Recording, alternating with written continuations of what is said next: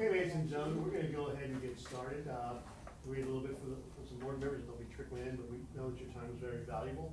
So we'll go ahead and get started. Myrna, Very good. all yours. So thank you all for being here.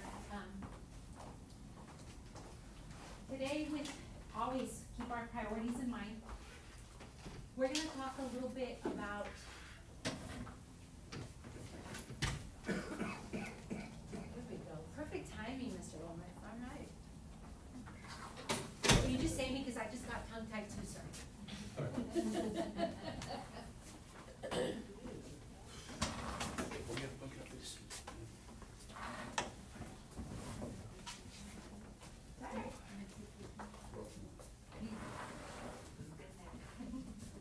Still there.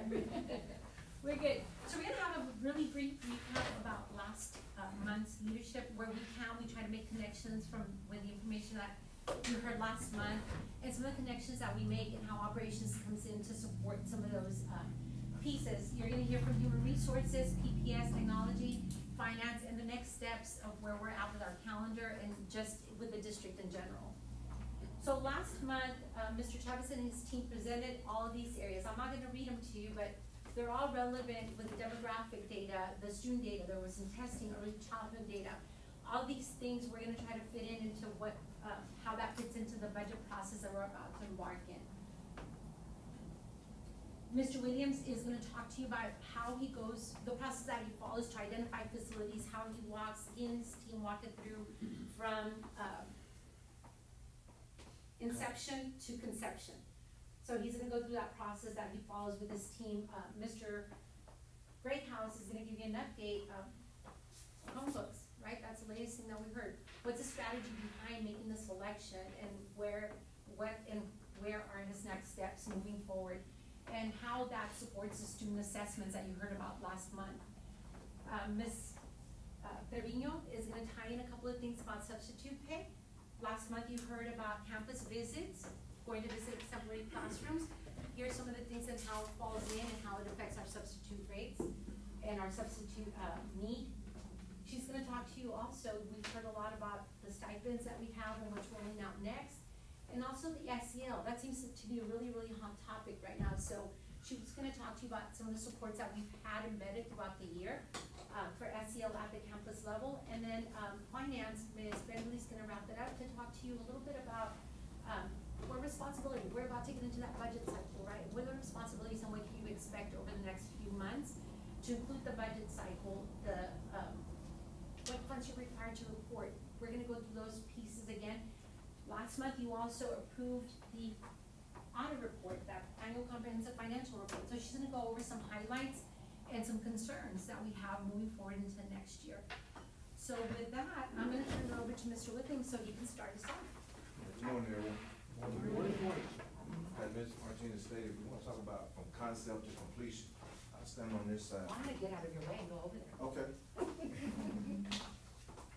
So we want to talk about concept to completion, how we, uh, look at putting, uh, plans together to identify spaces that need renovation or need some touch-up.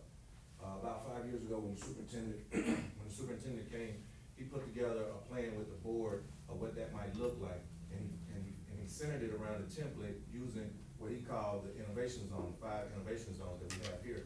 That gets us up, uh, till today. So when we look at that, the things that we look at from an operational lens is how we contribute to make the district, uh, some of the goals, in particular, how we get to a B or better by, uh, I forgot what year it is, but 2020, 2028, okay, by twenty twenty-eight. So this is our take on how we're helping and supporting that vision? So again, about five years ago, we- came up with the five innovation zones, and so I wanted to talk to you about from, from, from, again, the operation lens, how we contribute to, uh, provi- providing facilities and, and making sure that those facilities match the, the, one, the academic, uh, piece and supporting that. So when you look at a district, you probably have, uh, what we call a, uh, facilities plan. Uh, maybe about eight years, seven, eight years ago, the district, uh, embarked upon a, a facilities plan and put together a blue ribbon committee. But normally when you do something like that, it's on a wide scale, it takes in all of the pieces of a district and every facility within that district. Uh, you work with architects, engineers, and you put this, and you put a big, uh, eclectic, uh, group together, board members, community members, students, teachers, uh, and, and some, different staff and administrators. Well, me coming into the district about five years ago, almost five years ago, and looking at the vision of these, uh, zones, I saw this plan, or, or went through it just briefly, and I said, okay, this is great, however, we don't have the capacity for a bond right now, and it doesn't look like we're gonna have the capacity for a bond anytime soon. So, this elephant, or we don't eat elephants in America, so, this cow, I cannot eat this cow and swallow this cow at one, in one bite. So, how do we now truncate that down so that we can meet the goals of these innovation zones at, uh, from the, from our operational wing? So what I decided to do, taking from the academic side and my background in academics, we do learning walks and, and put information from the learning walks together, together with a committee of folks walking around observing. So we did, I took that model and said, you know what, we're gonna do facilities walks. However, we had to do different types of facility walks different groups of people to make sure we had the information that we need in order to put a plan together on a lower truncated plan or style. So what we did first, identify the campuses that are going into innovation in, in year zero. Once that happened, we did that from the team, uh, from academics and innovation office. Next, we have what we call, we call the maintenance huddles. The maintenance huddles are basically, let me see, they don't stay on this page, well, I'm gonna go to the. The, maintenance huddles, and those, in those, uh, let me go back, those schools that are identified, of course, we, we're not in year zero anymore, we're like in, in, uh, year four. Those are some, those are the schools. But we didn't start with all of those schools in year zero, we started with two. Gardendale, which is now Gill, and Brentwood, which is now, uh, uh, BBS or BSSOI, right? Brentwood School, somebody out, Brentwood. School Innovation. There you go, I'm stuck in acronym land. So, we want to start with those two, identified, I talked about that. Now we go to our maintenance huddles. The maintenance huddles, who knows more about our schools than us, meaning our subject matter experts? So, the PPS team, I pulled all the foremen, see the picture there, uh, the leadership there, the two coordinators, Mr. Cantu and Mr. uh, Rodriguez, uh, the manager of PPS, Mr. Cantu, and we did facilities walks, similar to that template like a learning walk. And I said, hey, they know everything about this. Them, them and their, uh, the ladies and gentlemen that work with them, they're in the schools every day, all day. They know where all the bones are buried, what really needs to get done. We take that information, uh, the first thing we gotta do is see what our major infrastructure needs are that we possibly can prioritize, put a list together, and have the funding to take care of. That's number one. Again, look at the team that's assembled. This is the PPS team, the maintenance team. Uh, because we're looking at the infrastructure. That's one group, that's one walk, uh, per campus. And I say one walk, this information in these meetings are not just one day. They, they, it takes, it takes a while to get all this information, because we wanna make sure that we're getting input from everyone. Sometimes come to the table and it's like, we're not sure about the information, we need to go and confirm it, and we take our team back out. So, just want you to know, it's a lot going on in the background. So, after that, we go to the next phase, which is the innovation walk. Now, this is the academic side, that leadership, I'm sorry, that, uh, the, uh, maintenance of the PPS guy. The innovation walk is the academic team. We have a representative from the Office of Innovation. We have a representative, of course, from the PPS team. We have the principal of that campus, uh, one of the campus leaders from that campus. And we also have someone from technology, and of course, the OP, the operating parts, Because most of these innovation campuses, or the bulk of them, are under eighteen eighty-two agreements, and we have a partner. So we wanna make sure that everyone's at the table with a voice on the wall, giving us the information, us meaning, uh, the, the, the, uh, the maintenance team. At that, at, during those walks, it's not time for the maintenance team to really give their opinions about things, or what we think should happen. This is from the academic programmatic side. We wanna know what you need, and we're, and we may just ask clarifying questions. We're just writing down whatever you say, right? We take that information back and combine it with those priorities that we're setting on the infrastructure side. And then now what we do is bring that to different team, which is the leadership huddle. And what we talked about during that huddle are the things that we talked about in that maintenance, we put all that information on the table. Uh, what we talked about in that maintenance huddle, what we talked about and gleaned from that innovation walk, and now we talk about the scope, that's what that S stands for, I'm gonna read this acronym out to you. We talk about scope, we talk about the budget, we talk about the timeline to get the work done, and we talk about procurement, because there may be a heavy lead time on certain things. That helps with the timeline, it also helps with the budget, because some of the things, if you want to expedite it, then some of it's gonna expedite price, you know? So we talk about all of this, we put all that on the table, and then at that point, we make a decision programmatically and, uh, what, what needs to take place.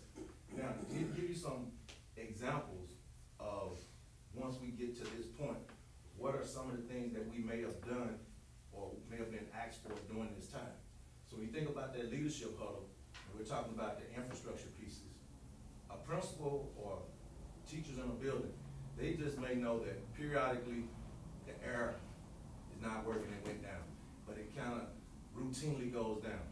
So they know something's wrong with it, but they know we get it back up and running, you know, probably an hour or so. So it's a, it's a a nuisance, but they don't know how big a deal it is or how big a problem it is and how much it costs to get maybe a new chiller.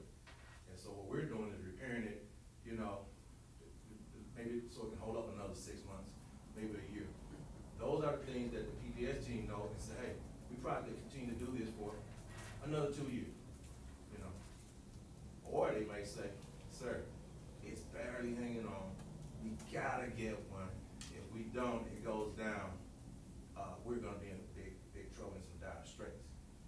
So that's the type of thing that, again, moves, may, may move the needle on where it goes on their priority list. Okay?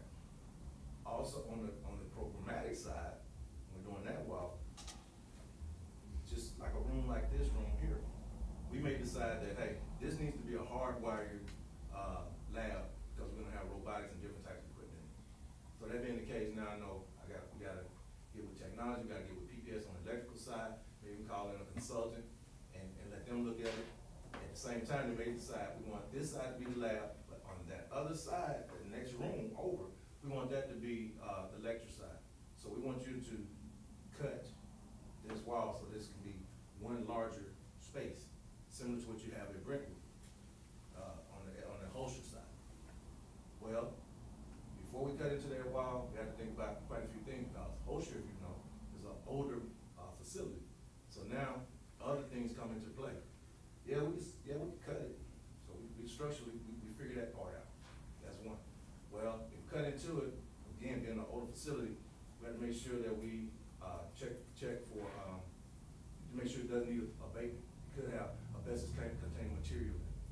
So all of these factors go into all of those different pieces when you look at it. So that's sometimes, before we bring things to you, we have been working with this, in some cases, nine months.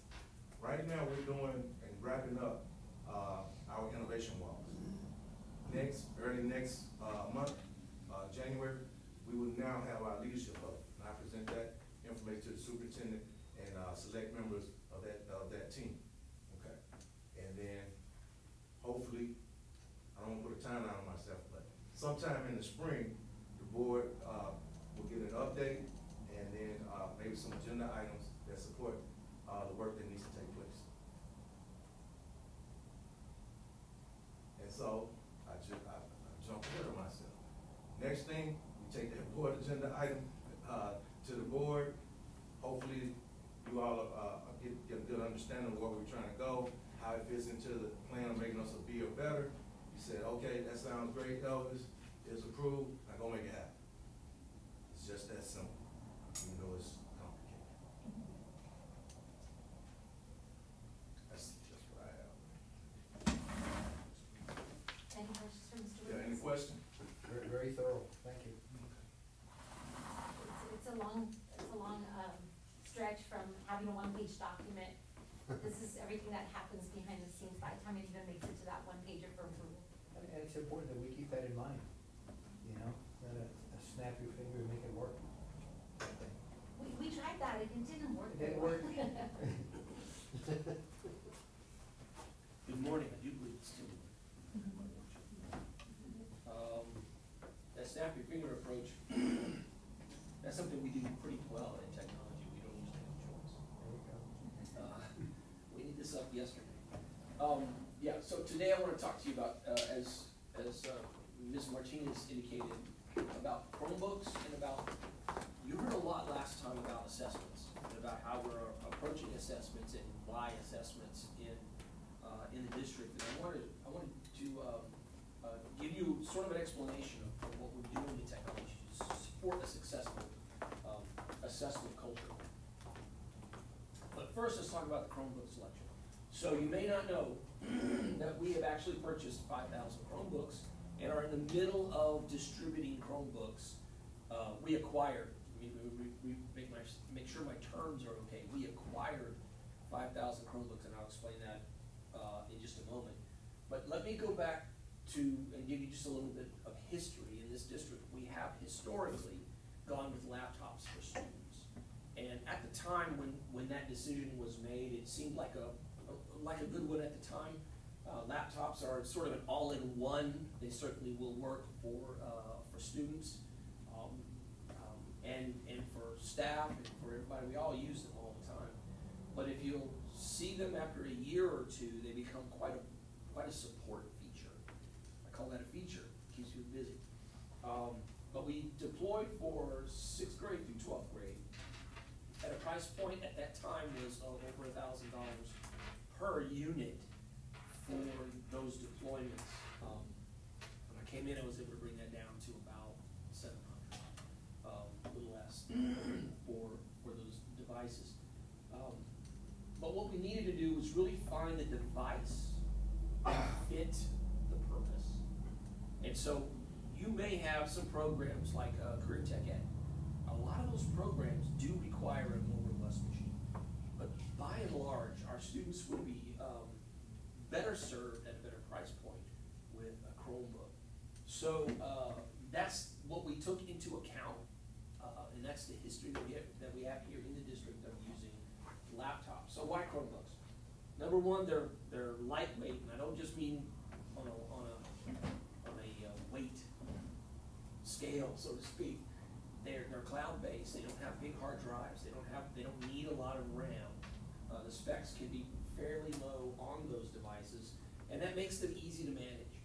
Um, how many of you have ever done the, uh, Windows update that just blew up your machine? Um, I have, uh, um, and we manage that on a regular basis because that's what happens with, with Windows-based machines. Uh, Chromebooks, they have a, a default, they'll go right back to a set default, um, should the actual operating system get corrupt in some way. Um, so very easy to, to manage and maintain the network. It's also secure. You know, uh, when we have network incidents or threat actors who want to, uh, sort of get into our network, it's always Windows-based machines. That is, that is what they target. Um, those are the, those are the tools that they have available to them, uh, to access and, and begin working that route to get into our, our network. So, um, Chromebooks are secure out of the box. Uh, the Chrome OS itself is just not a real hackable, uh, kind of operating system. Could it possibly?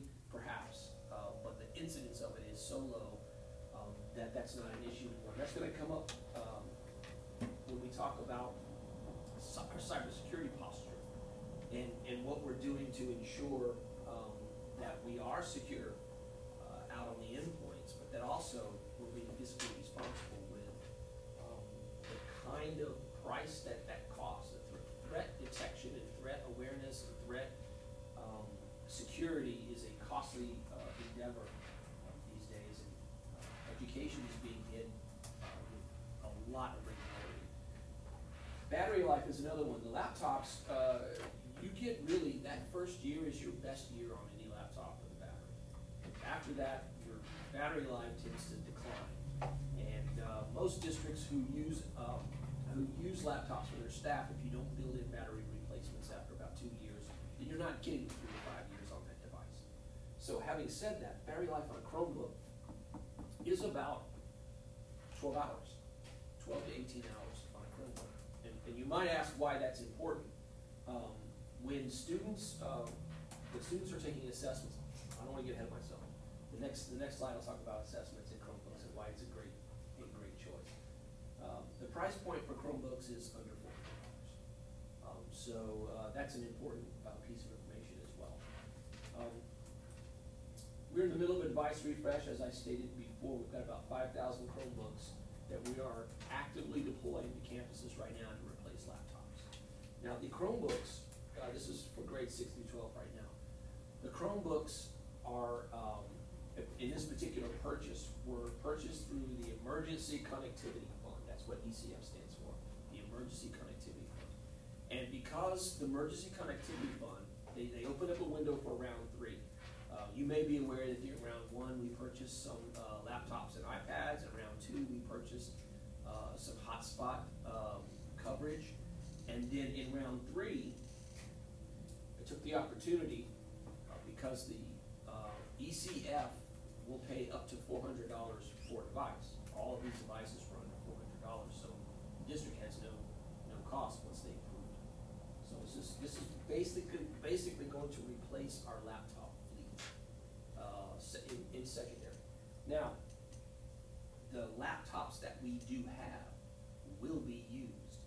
Uh, we have programs like robotics, we have other CTE programs that require a more robust device than uh, a Chromebook. And so we will be deploying those devices to those areas as well. And this gives us the opportunity to make sure that core content is covered where a device is concerned, but then also making sure that the, that the arts have devices, that, that virtually every classroom that we have at secondary, for every program, has a device of some kind that they can use for, for learning. Um, we are looking to purchase Chromebooks for grades three through five. Um, one of the big, uh, um, sort of draws for that is all the testing and assessments that we have right now, starting this year, are all online. And those tests really begin at third grade. And so we want them to have the same device that they might use in secondary at third grade. But then in addition, um, we really want to kick up programs like keyboarding skills. Uh, these, these are important skills uh, these days. I have watched people um, who are professionals in the career, and I don't. I think it's, it's a it's an art to watch them use two fingers to type. It is an absolute art. I know people who do this, uh, and they just know where the where the keys are. I'm like, I have no clue how to do that with just two fingers. Um, but we want to teach our students how to type, uh, perhaps um, in a more fluid fashion, maybe a more standardized way. Um, not that that's any better necessarily. Okay, let's talk about assessment support. Uh, I'm gonna stick with the Chromebook side of this and kind of bleed over to what we've done Chromebooks support assessments, number one, ease of use. Um, we, during last year, we had some secondary campuses taking their assessments on the laptops. And the laptops at that time, again, we go with battery life. If, if you start, let's say you're starting it's first thing in the morning and that laptop has been on the charger all night, you're getting at best three hours on that device, okay?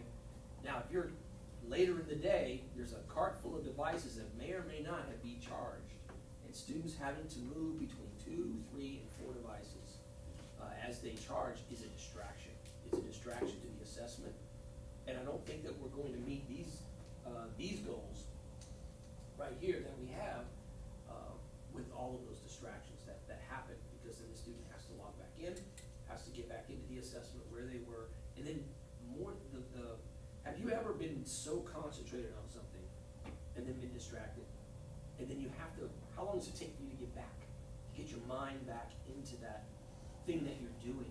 That's the same thing with students, and we don't want that distraction to occur.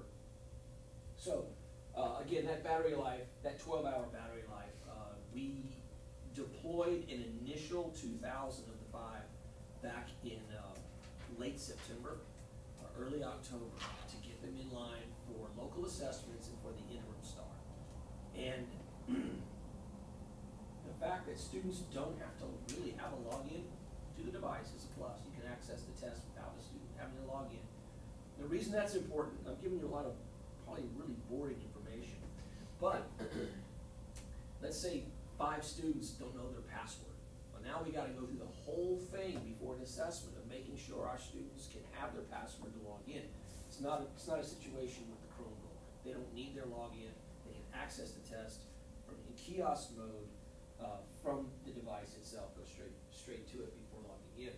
So ease of use, you got long battery life, they're not gonna have to, uh, switch out, and they can access the assessment, and we successfully did this, um, before Thanksgiving. And, and we're, we're successfully doing it now during end of course, end of course assessments. So again, that's, that is how we're supporting assessments as we move forward and plan and blueprint what devices students would have, what's appropriate for them to have. Now, at elementary, historically, were iPads, K through five, right? Got tons of iPads out, out there, and with all assessments being online, when that assessment shows up on the iPad, it takes up real estate. The keyboard, the onboard keyboard that pops up takes up real estate on the iPad. So students have a thinner window. Maybe the item doesn't show all the way and they have to scroll up and down to read the item and read through it. So what we did this year was we purchased, um, these wired keyboards that actually cradle the iPad. And it being wired, I don't have to worry about Bluetooth not working. As soon as you plug it in, it's accessible to the device and the students have the full screen. It almost looks like a laptop, like even a, a, a small Chromebook where you've got the keyboard and, and the iPad right there connected. Uh, it makes for a, a much more seamless experience for our students in elementary. So, uh, that is how we're supporting assessment, um, right now, and that is the end of my presentation. Do you have any questions for me? Yes, sir? That the Chrome will be compatible with a keyboard, The Chrome comes with a keyboard. Chrome keyboard? This one is specific for the For iPads. that. Yes, the iPads. Yes, sir. So you said the Chromebooks don't require like a login password like the Windows? They do to log into them if they're gonna use them, like for Office three sixty-five or for anything else. They don't require a login to take the test. Yeah, so there's a kiosk mode that's down, that's available, that accesses the network and allows them to go to the test site, um, and be able to use whatever method they use for, for accessing their assessments online. So there's still credentials, I think that's your Oh, yeah, there, there There- are the to get in the credentials, machine, yes. yes. I was specifically referencing just the assessment. So Like- um, if like the, the like um, the device gets lost, it's easy to like disable, you? Yes, yeah, we use a, uh, a service called Absolute. And actually, these, these will go into uh, another service called Intune as well. Uh, and, um, I'm not sure the functionality of the Google Admin Panel at this point for doing that. I believe it allows us to push apps, but doesn't allow us really to access and shut it down. But our other tools that we use will allow us to not just do that, to locate where they are. And you said right now we're at five thousand on Chromebooks, Five thousand Chromebooks. and we have like a, an enrollment about like um like eight thousand, right? So Total enrollment, so if you think about enrollment right now, we're talking about sixth through twelfth grade. So this will, this, in, in my, in my calculations, this should take care of all core areas and even more with replacing, um, for the, with, with replacing the laptops that are out there. We've got two thousand laptops, two of the five thousand, I'm gonna say this wrong, I got them confused in my head here. We got five thousand total Chromebooks, okay? two thousand of our laptops are completely end of life. They are no longer servicing anybody, right? So this is why we got two thousand of them up front first at the end of September, so that we could supplant schools that have a vast majority of what we call thirty-eight, thirty-one eighty-nines. Thirty-one eighty-nines and thirty-one nineties, those are the ones that are end of life, they're, they're, it is an abysmal situation to have to use those, uh, for anything, so we wanna make sure that we replace those first. That's what we did with the initial two thousand, so the rest of them are to help replace the rest of them. I like how you were talking about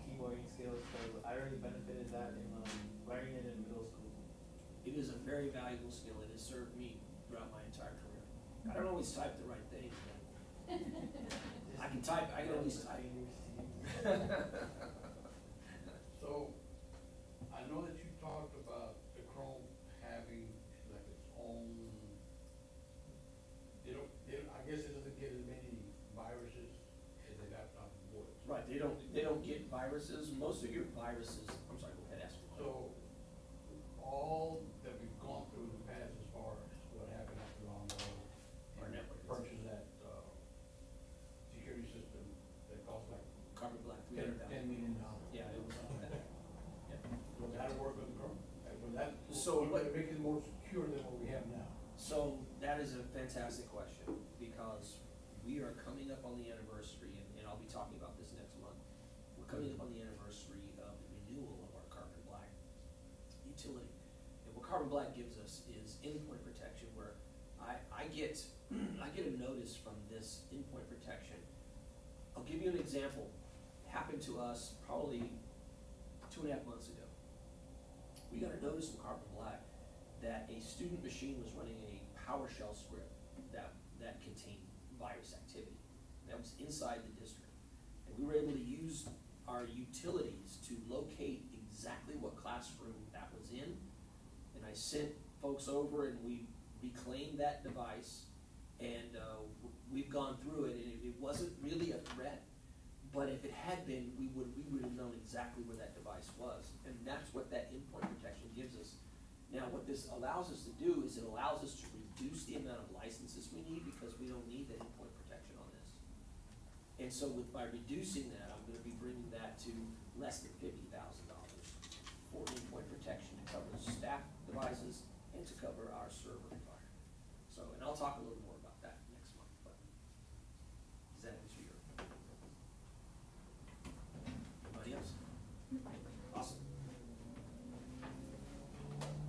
Thank you all very much. Thank you. Okay, well, good afternoon. I know we've talked a lot about support, and again, we know, um, I know teacher turnover, actually our profession in general, I know it's a high crisis. I know this morning they kind of talked about it. It's one professions that we know has a high turnover, um, and we are seeing it. But I want to give you a report and give you an update, just a lot of those supportive measures that we've been analyzing as a district and how you have supported those measures and how, um, just to give you a report on how it's impacted and so we can kind of see where it's at. We'll go over the substitute report, uh, how it was last year, the same time frame, and where it is now. Um, and just kind of giving you an idea of where we are with our fill rate. And then also the incentives and stipends and how those have benefited, um, our employees, because of course, we're, we're big on recruiting, but how can we retain as well? You know, we wanna make sure that we're retaining and we're retaining the right staff, right? So a lot of those incentives that you have approved have really helped in that area, and I just wanna kind of give you an update on that. And of course, um, the hot topic item that we said that it has been and continues to be, not only for our profession, but just in general, is social emotional support for individuals. We see it for our students, but we're also seeing a lot of that for our staff as well. So I just wanna give you an update on that. So first, our substitute report, as I mentioned, our goal is to recruit and have a high-quality teacher in every single classroom.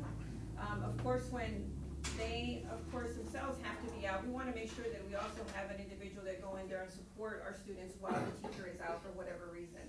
So that's why it's so important to have a substitute for every single classroom. Last year, we did start the school year with sixty-eight vacancies. So of course, we struggled to make sure that we had a substitute in every single classroom, we were even struggling to entice and recruit substitutes. So when we increased the rate was back in the end of September, when we came to, to you and you approved the rate. Um, I'll give you an idea of kind of where we were last year and then where we are now. But it did drastically assist us in making sure that we did have an individual in every single classroom. So the report to tell you, last year, uh, 21-22. this is from the beginning of school till the end of November, okay, where we were. So we had a request of six thousand five hundred and twenty-seven, uh, subs for those three, three months. In those, we had about six thousand three hundred and ten that, uh, were needing a substitute. Now you're asking, why do some need a substitute and some not? Well, in some areas, we have, um, where we cannot have a substitute go into the classroom because it requires a specialized training. Um, like in some of our life skills classroom, we have to go through special training for our aides if they're gonna change a student. Um, so they have to learn how to use a lift, how to, you know, um, make sure they can handle the student. So So sometimes those individuals will come in here and they're gonna tell you no substitute needed because the campus will find other individuals that are the backup, uh, to go in and make sure that they can support. So the student is supported, but it's supported with individuals that have the specialized training. But they'll go in there and say, I don't need a sub because I don't want the sub to come in, um, they don't have the, the special training, okay? So that's what that means. This will tell you how many we actually had filled and how many were not filled. So we, out of the request of six thousand five hundred twenty-seven, or I should say six thousand three hundred and ten, three thousand seven hundred and twelve were filled, we had twenty-five hundred ninety-eight that were not filled.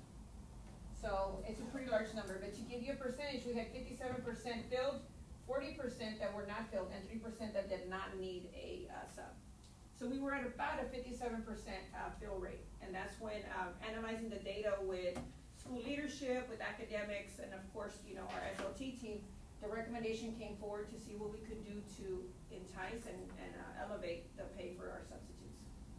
After doing so, now we have, I just wanted to give you, uh, you know, apples to apples, not kind of give you the overall last year. So this is where we are now this year. The rates have stayed the same because we have not changed. Of course, we did, I'm happy to report that we did recruit and start the school year with zero percent vacancies, right? We had all of our classrooms were filled with a teacher in the classroom. Um, so this year, we're at one thousand nine hundred and sixty-nine requests. And we have filled one thousand seven hundred and sixty-five. Uh, filled were one thousand three hundred and seventy-eight, not filled were three hundred and eighty-seven. So we were at about a seventy percent fill rate. So from fifty-seven to seventy with the same time um, twenty percent that, uh, were not filled, and then ten percent. So of course, what happens, right, when we don't fill a sub?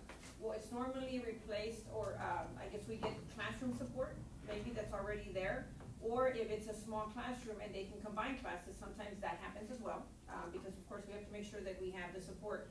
But ultimately, that's our last, last, last resort. We wanna make sure that if we can, we have a substitute for the classroom, you know, to make sure that they're getting that, that assistance. Um, so that's kind of where we're at right now, at seventy percent. So those, uh, fill rates are there. The concern comes in now that, um, next semester, we are going to be, um, asking for, or we have approved already, the perfect attendance, right? So now that we're asking a perfect attendance incentive, we're providing a perfect attendance incentive, the teachers may not be calling in as much, you know, so those individuals that really came out and supported us, these substitutes, when we needed them, what are we going to do for them? We are looking at some, uh, at some reports on those that have been consistent with us, those long-term substitutes that have been here with us. And we say long-term, it means that have helped us in twenty or more days, we look at the time frame per semester. If they've been with us twenty or more days, we consider them long-term subs. Normally, a long-term sub, after the tenth day, on the eleventh day, the rate changes. Okay, they get about ten to twenty dollars more than they would be getting if they were to not be in a long-term placement. So we always wanna make sure that we're, um, taking care of those individuals that did come in and take care of us at the time that we needed. So we are talking to them to see if there's a way that we can have them become maybe permanent employees. Some of those individuals may not meet the qualifications to become a paraprofessional or an instructional aide in the classroom because they have to have the forty-eight hours of college credit or have taken the treasury and professionals course. We have reached out to Region twenty, they have slated us thirty slots, thirty free slots. So individuals that wanna go in, it's a first come, first served, they offered it, of course, to multiple districts. But if we can get these individuals, if they're interested, they can go take the course free of charge. It's a certification they will have and will qualify them to become a permanent employee of ours. Um, and we have those vacancies right now. We do have quite a bit of paraprofessional vacancies because that's a little bit harder to fill. They don't need a certification, but they do need the credit hours or they'll need this treasury and our professionals. So it's just a way, I don't wanna, um, discount that they were here for us when we needed them. And now with the perfect attendance, we may see our numbers drop even more, which is ultimately what we want, right? Cause we wanna have our teachers in the classroom with our students. But what are we gonna do for those individuals that have been here? Um, so we are trying to find, so just constantly trying to review the data and trying to see what are other ways that we can hopefully take care of those that took care of us, right, when we needed them. So this is where we are with the substitute. I think it's a, it's a good opportunity. Of course, I wish we could be at ninety percent. Um, but that's not always the case as well, because we have had some struggles as well with trying to retain our, our substitutes as well. Yes, sir. I, I wanna ask you a question before you move on. Yes, sir. So, this may sound like a dumb question, No, never. but I'm, I'm having a hard time registering, was this total happens, happenstance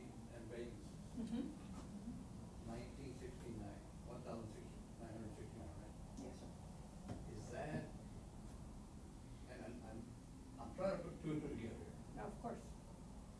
This doesn't mean that we have, how many substitutes do we have?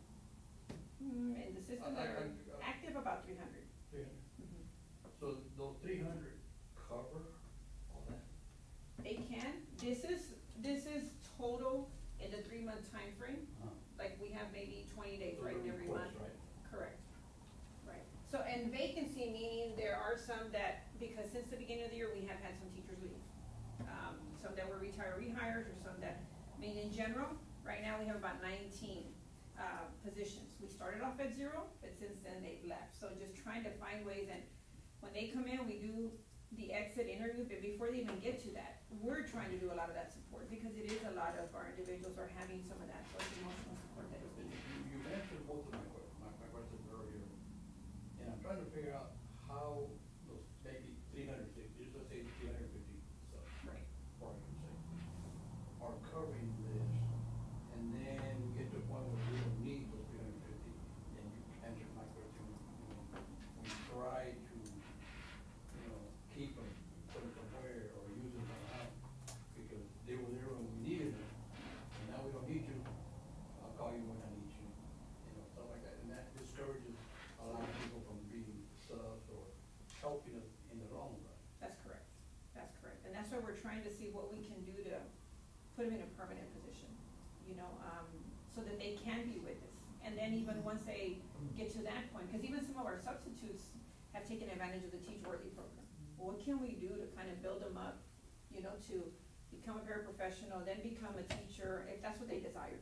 But, you know, supporting them in that way as well. So we're trying every possibility to see. Now, that's of course if that's an interest of theirs. It may not be an interest of theirs, uh, but we're trying to see what we can do. So we always wanna try and bring them in permanently, um, but we always wanna have a good pool of subs to, to fill in the classrooms when needed. Now, the perfect attendance, I will say, um, the way it was approved was that the recommendation came forward that if they are to be used for professional development, or if they're doing an official school business, like if they're a coach and they're taking a team to a, a tournament, you're still gonna need subs for those types of reasons. So we're still gonna need some subs, we just won't be needing them as much. Um, and if it is something that, you know, maybe teachers, they have the days, maybe that has been accumulating, that they're taking more days because maybe mentally the need is there. Um, so what can we do to support them? So trying to find different avenues to try and keep them, but then also trying to see what can we do to try and keep our substitutes as well. Um, so just trying to play that balance. I think we'll probably know a little bit more, I would say like February or March, once we've had the perfect attendance incentive, um, start, and we can manage and analyze that data. So hopefully for the next presentation, that'll be something that I can bring forward, since the inception of the perfect attendance, this is what we've seen, and this is kind of where we're at, so I can, but thank you for that question. That's my concern too, is that they're here now, oh, we don't need you now, no, because we're, we're gonna need them. Having a hard time getting them, and then we Right. do get them, and Absolutely, then we get them and, you know, like a stepchild, right, we don't, yeah, that's a, yes. Do, do we, do we have any data where we're tracking the impact of children when we have, you know, these vacancies? Or, you know, um, to see wh- how does that affect grading, how does that affect testing? Um, do we track any of that so that we know what kind of impact this is causing our kids? We do, and I know that, um, I'm not sure with the academic side when they presented some data. Um, I know when, I mean, of course, for me, I hear it because I'll, it, it's, it's me, right? It's affecting me when I hear, well, we had vacancies last year, and this is kind of why we're, we yielded the results that we Um, I know this year even more so when we're looking at it. I mean, we're even tracking as far down as if they're in an alt cert program. And what type of alternative certification program are they in? Because then that'll help us when we go recruit, if we have teachers that maybe are in the classroom, um, but are not doing so well because the preparation program did not do as well, then that will help us when we go recruit. You know, not we're gonna shy anybody away, but if I have to pick between a Texas teachers and a Teachworthy, and I know Texas teachers programs don't prepare their teachers that well because we're looking at our data and their success rate is not great, but then we're gonna go with the Teachworthy candidate. Um, so there is data there to support more so on the vacancies probably from last year. And this year, I know that we've been really, really, um, trying to make sure that we can, if there is a vacancy, there's a way that we can spread the kids out so that they're with a certified teacher, then we do that as well, to try and support that, so, so. So you're, you're tracking per classroom, per child, that type of thing, Correct, per teacher, per teacher? yes, sir. So, I think Mr. Chavez is making a note probably to make sure, maybe when the academic side comes and presents that, that's something we can share with, with the team. Uh, I think, I think for, just for observations from last year, the last three years actually, uh, teacher absence in a room, uh, impacts achievement. right? Uh, we can have the substitutes there, but content knowledge, then in level, I mean, content knowledge is not, it may, may not be there. I don't wanna say how many cases, because some cases we do have substitutes or actually certified teachers. But, uh, the, the, the opportunity for them to learn, the teacher, it does impact their overall achievement. But Because they don't know the kids. there's like a loss of learning when um, a substitute comes in when the teacher's absent. I wouldn't say a loss of learning, but in terms of learning gain, it may impact that. Uh, if you're in a biology classroom and you're studying something like biochemistry and you're covering a piece and you can't cover it that time, you can't move forward unless the person understands that concept. So are there like um specific requirements for like teachers when um a substitute um comes in, Mhm. like um what lessons they have to prepare for? They provide them with lessons, but the lessons, uh, we're not gonna provide a lesson on, have that pe- person required to teach biochemistry. You can give worksheets, you can give readings, uh, but in terms of saying, is there a difference between a teacher present in the classroom and a substitute? The answer to that is yes. And that's, that's, in a lot of cases, because we do hear that from sometimes substitutes, is sometimes, I mean, they get lesson plans and sometimes it's the activity that is given to them. Because sometimes, most of the time, I, substitutes teachers have to prepare at least three lesson case of an emergency, right? Yeah. So in case of an emergency, sometimes it may be something that's not, not even related to the subject matter. Um, unless you can get with a department head or a grade level, you know, who can kind of help with that. Um, so there are various situations that we have to kind of analyze to see. So sometimes you may not even be able to get the same topic. So if a teacher's out for a couple of days, the teacher can come back and check that out. Right. What we were referring to for last year, and the last year, was teachers gone for an extended, extended period of time. Uh, some of the things that did is we packed classes, I mean, huge classes. Uh, time that we were doing, uh, COVID, we had synchronous and asynchronous learning. We had some teachers covering three hundred students. So, I, the, the quality drops off a tad bit when you start doing that kind of thing, so we did notice that. So, so, so in your opinion, is this, is this, you know, are we a little short with the budget for support in this area? Um, no, I think we're good with the budget, kind of where we're at. Um, I think the other factors that are impacting the teacher absences is kind of where, and I think some of these other incentives that we put in place would probably help for some of these teachers that, I mean, it may be just sometimes like, you know what, I'm just gonna take the day off. But if they know there's some kind of incentive at the end of the semester, they may not be so likely to just take a day off. Now, sometimes it's out of their control, they get sick or a car accident or something else that they have to be out. But we, I mean, we're good, I think last year, our total expenditures for subs was about a two point one million that we spent over on subs, and I think right now we're about eight hundred and sixty But, thousand. but you do have those classrooms where, you know, I mean, you, you, you, where you have the majority of those absences. You're able to identify that early on, aren't you? We are, And, and so I'm just wondering if we're budgeted well enough, because at the end of the day, you know, this is all about moving children forward, absolutely, yes, sir. so. Mr. Zafata, so I think it's really important to, to mention that Ms. Arias mentioned a lot of initiatives, right? Step one was, we can't get subs, we've got people out, we have no control over when people are out. By this point in time last year, I think we looked at it, and it was, um, an average of ten to eleven absences per teacher by November. And that might mean that I had a classroom that, in my campus, that had a permanent sub, because we couldn't hire people, right? So there's a lot of different circumstances. But what happens is, I didn't fill the teacher position because I couldn't. Not for lack of trying, I couldn't. But Ms. Bendalee made, uh, appropriations in the budget based on recommendations to finance a teacher, right? So if I have a permanent sub there, I'm saving money, but our kids aren't getting educated. So we're using those same dollars, to, to your point, we're using those same dollars, they're not separate buckets, It's really repurposing the money to fill the gaps that we have. So even the two point one million dollars that Mr. Vino mentioned, if we can keep our teachers in the classroom, then we're not paying for a sub. Those monies will be used then to, for the incentive, if you've been here with perfect attendance, the money that I normally would have paid a substitute, I'm gonna repurpose those same dollars again to use them to give the incentive so that you are in the classroom.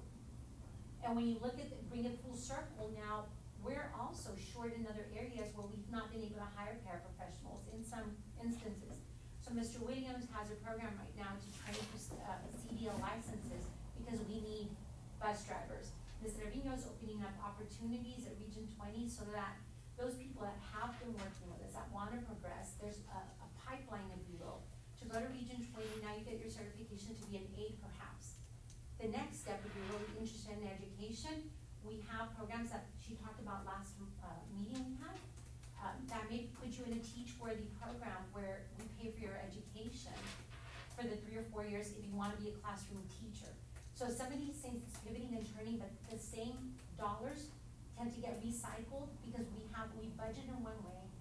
It's not working, so it's really stepping back and saying, we're gonna use the same dollar, we need it here now and repurposing to do something else. But at the end of the day, it boils down to the salary and creating opportunities, because what we budget for is that teacher salary. We don't want the substitutes unless, we don't want to use substitutes unless it's for something like professional development that we're planning for, et cetera. Those are the natural and normal things that we're gonna continue to need substitutes for. We want our teachers to grow. But as far as, is it a financial thing? No, it's more of the need keeps evolving and changing based on the circumstances. So, so we have, we have enough money in that bucket to, to, to start making this, you know, work a little bit better. Yes. This is now, I was gonna ask you a question about, Is that what you, okay, no, no, good, no. okay. I was gonna ask you about when you have a sub in the classroom, they're not actually teaching, right? They're just, I guess, for lack of a better word, they're controlling the class while the teacher's out. they're managing the class, Manage, right, based on if, uh, you know, there's a worksheet that they're doing, maybe it's continuing the learning. Um, they're not actually introducing the lesson, but they're supporting the lesson in hopes, if they have time, if it was a planned, you know, absence, and they would have time to, let me go print something out so that the kids can work on something tomorrow. Whether it's a reading and then they answer questions based on the lesson that was introduced maybe the day before. So if See. teacher's gonna be out, say, two or three days, for whatever reason, so the sub already knows she's, she's got a lesson plan, she's gonna follow? So it's cases where you get hit by a car and you're out for two weeks and trying to get somebody to come in there, you know, you're ready. Because we have lessons already planned, but not for an extended period of time. I think also, you have a different pay for long-term substitutes.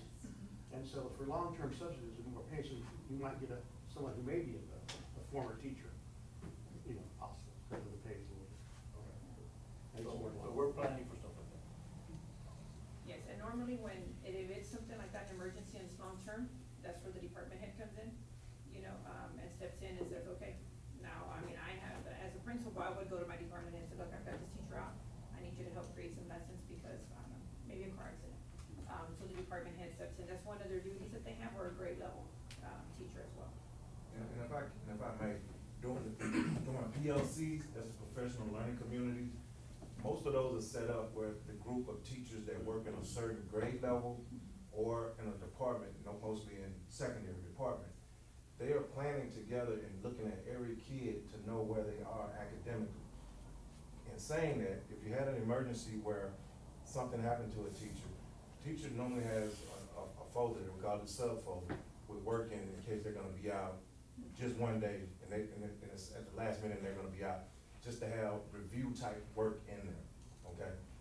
That's one, but in a, a accident type situation, the grade level leader or the, uh, or the, uh, department leader, like she said, through the PLC work, and where we know we're heading as a department, let's just say biology, they, they can share lesson plans that this individual teacher has that teaches the same subject matter that this teacher use that information and work with the sub during PLC time to kind of help them understand how to deliver the information.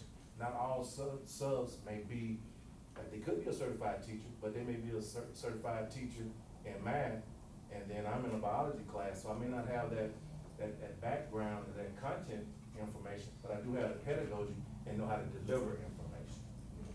So that's, that's, the PLC's really. And it does happen where we're both teaching algebra one, like he says, we're planning. If I have a long-term teacher and I'm introducing a lesson maybe in three days, I can teach it to my class, and if I know Miss Pam's class is out, well, then that sub that's assigned to Pam can come cover my class while I go introduce the lesson to those students. You know, so I can go in there and teach the class, and so it's just really working together and planning. And that works really well if you have an AB schedule. Correct. Yes, So let's say something like that does happen for them, like one teacher's out, but we have another teacher, like that covers the same topic. Um, what if it like overwhelms the teacher that they have to like go into another classroom, like, are we like providing incentives for them also? We did, what we started doing, um, last year was those individuals that had extra students, is that we were providing them some extra duty pay.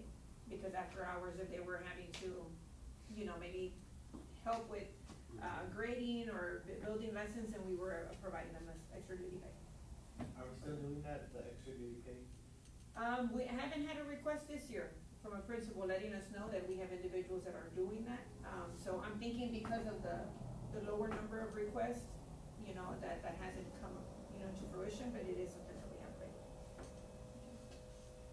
Anything else?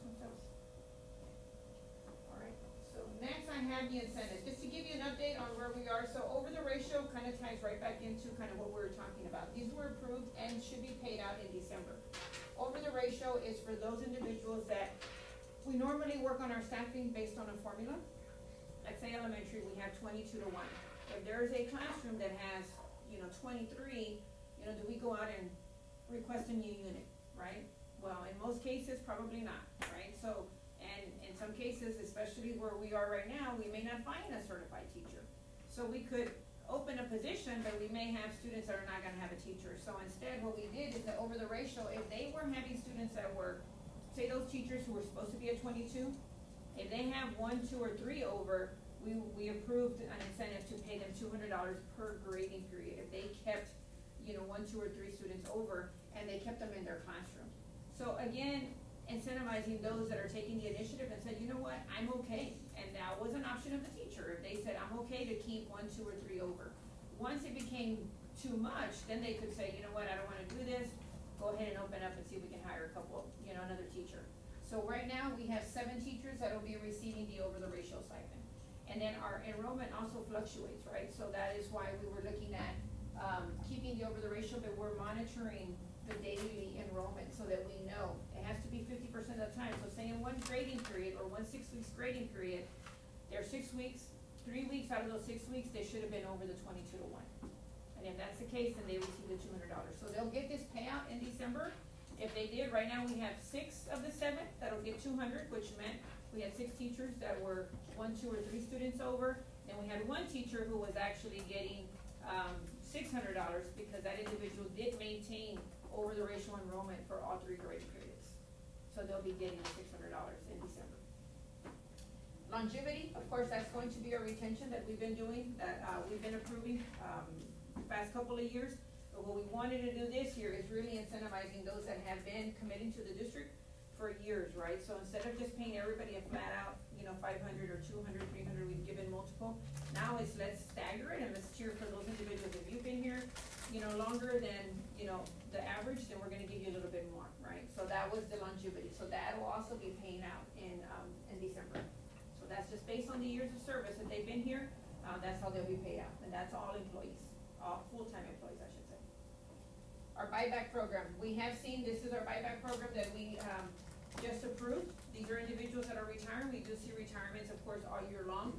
Uh, but most of them will happen around December, or January, because they can get a full year's credit, most of them, they stay through Jan, through January. Um, so we have, I believe, five, there might have been one more right before I came that was submitting their paperwork. Um, anywhere on average from, you know, ten to about fifteen days that they're getting, that are gonna be paid back. where I can see this program really kind of exploding is now that we're providing a perfect attendance incentive. Well, now we're asking them not to use their days, so now they're gonna have a lot of days. So when they retire, what happens before we had this program is that individuals, because our policy says you can be out three days before you need a doctor's note, they could go a whole year sometimes, because they had so many days, it was take three days, come back for one, take three days, come back for one. So imagine the impact and instruction with that, you know, because individuals were, were really, so providing this buyback program, I think will really help with that. Um, so making sure that we have that. So right now, like I said, five, maybe six that I have that were coming up. We'll probably see a little bit more in June, um, that'll get the payout. Yes, sir. Alright. On Jimmy, Yes. going back when we were talking about previous going through with this, the, not, there, who's getting that, just the teachers? It, right now it is, All- All it the is people, employees that have been with the district. all full-time employees. So, the, the, I guess, professional clubs, for lack of a better word, they've been with the district for years, did they get that also? Not, because they're not considered full-time. Okay. Right now, they are not getting it. I will say that we're probably going to be coming to y'all for probably January, um, to kind of get approval. Um, but we're looking at the long-term subs that have been with us and giving them some type of an incentive. We're still working out the details on maybe what that amount may be.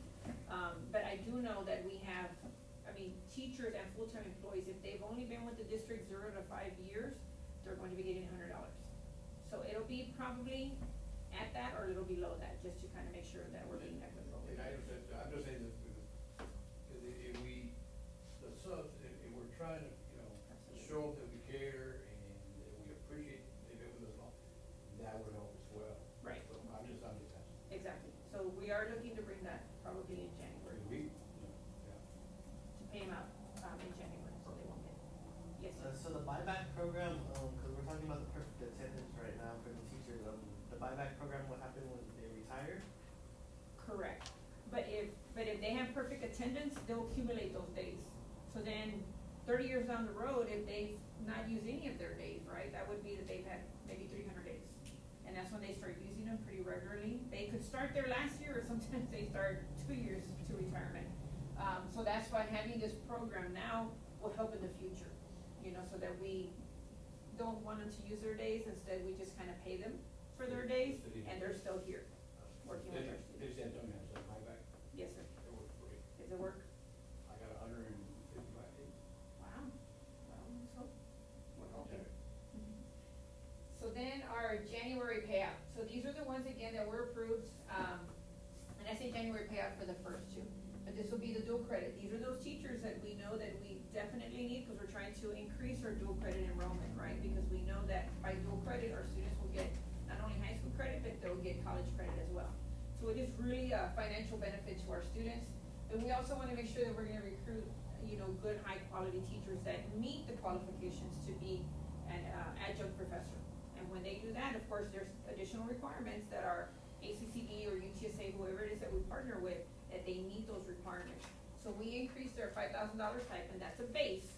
If you are a dual credit teacher and you meet the qualifications and you're teaching at least, I believe it was two classes, then you meet the qualification. In addition to that, if they teach six periods of dual credit, then they would be getting the additional stipend of six hundred dollars per course, as long as they met the minimum number of students in the course through the census date. Because sometimes they could start with twenty students, um, and our requirement is that they keep fifteen, and that's with the partnership that we have. If they keep fifteen students, then they get the six hundred dollars at the end of the semester. We're also looking at their measures, because we don't just want to be hiring and never monitoring how well our students are doing. Because if our students are struggling with a dual credit teacher, then what's happening? So we also wanna make sure that we're looking at the passing, the pass rate for our students in there as well. So, making sure that we're doing that. So that'll be paid out for the, uh, per course stipend will be paid out in January. Um, then our Head Start and Early Head Start, we just approved a thousand dollar retention stipend, that's going to be paid through the city, and that'll be paid out in January for all Head Start and Early Head Start employees, full-time employees there. Then, of course, our perfect attendance, mentioned, there's perfect attendance and then there's near perfect. So zero, the five hundred dollars at the end, which will be paid out in, uh, June. The one day, three hundred, and then if they miss two days, it'll be hundred dollars, I believe, so. this, I believe, will really help us, so we'll see the impacts. So I'm hoping to bring you some data as soon as we get this started. This will start not during the intersession, but on the ninth when we get back. Uh, that's when it'll start, so we can kind of see how that's impacting. And then, uh, again, we're looking at how many subs, we're also gonna look at the impact on academics. You know, because we're hoping having more teachers in the classroom will definitely help our, uh, our scores as well. I had a question. Oh, sorry, yes, sir. So these type of stipends are different than, um, our other stipends that we have posted online, like, um, for like after school, like teachers, like coaches and after school activities? Yes, these are in addition to. Yes, sir. So, so social emotional support, um, just wanted to give you a real analysis on how we have this, um, assigned to the campuses. So currently, right now, at the elementary campuses, we have one social worker per campus that is assigned to the elementary campus, except Gardendale. Gardendale has, um, their own plan with the city of San Antonio, so we don't, uh, provide a social worker to Gardendale. They provide it to the city of San Antonio, but they do have social support through the city of San Antonio that is provided. At our secondary level, instead of having a social worker, we provide an SEO that individual goes in and supports the students. Most of the time you have your core academic counselors and then you have your social-emotional support. We also have our collaborative that we have, that we've had for the past four years, uh, where individuals can be referred, um, and they get assistance that way. Um, we also just approved one through Bexar County. That's a new initiative that we have as well, that is also be providing. Uh, we have communities and schools at JFK and at Memorial. Um, the only one that does not have an SEO counselor assigned to them at the secondary campus will be the Fine Arts Academy. Of course, we look at our enrollment and we look at the number of students, you know, based on, on need. We do have our lead social worker that is assigned to Roosevelt, and she goes and provides support, um, to our Fine Arts Academy when needed. Um, and of course, we have our, uh, director and our coordinator that are also assigned that can go and provide support. But this is really, um, a big need, I believe, for our students, um, so I know that the collaborative will really help us in that, to making sure that we have that, and really just trying to get that information out, because we do have an employee assistance program for our employees, but if we're seeing some of our employees are struggling, I know that our students are as well. Uh, and these initiatives that we have are not only just for our students, but they're for our employees as well, so these collaboratives, so I can see that that will help. I don't know if there was any questions on this. Yes, sir. Uh, so the social emotional learning, I know when I was in high school, we had like curriculum, like in the beginning of the day, do we still have that? Or- They, I know that that's when they had a certain time frame that they were supporting, um, and I believe that is still in place.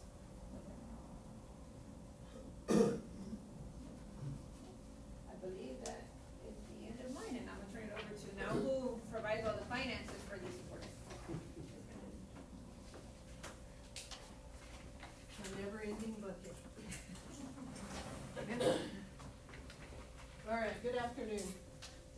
So I'm gonna kind of cover, um, the responsibility of the board, what funds the board's required to approve, kind of our account code structure.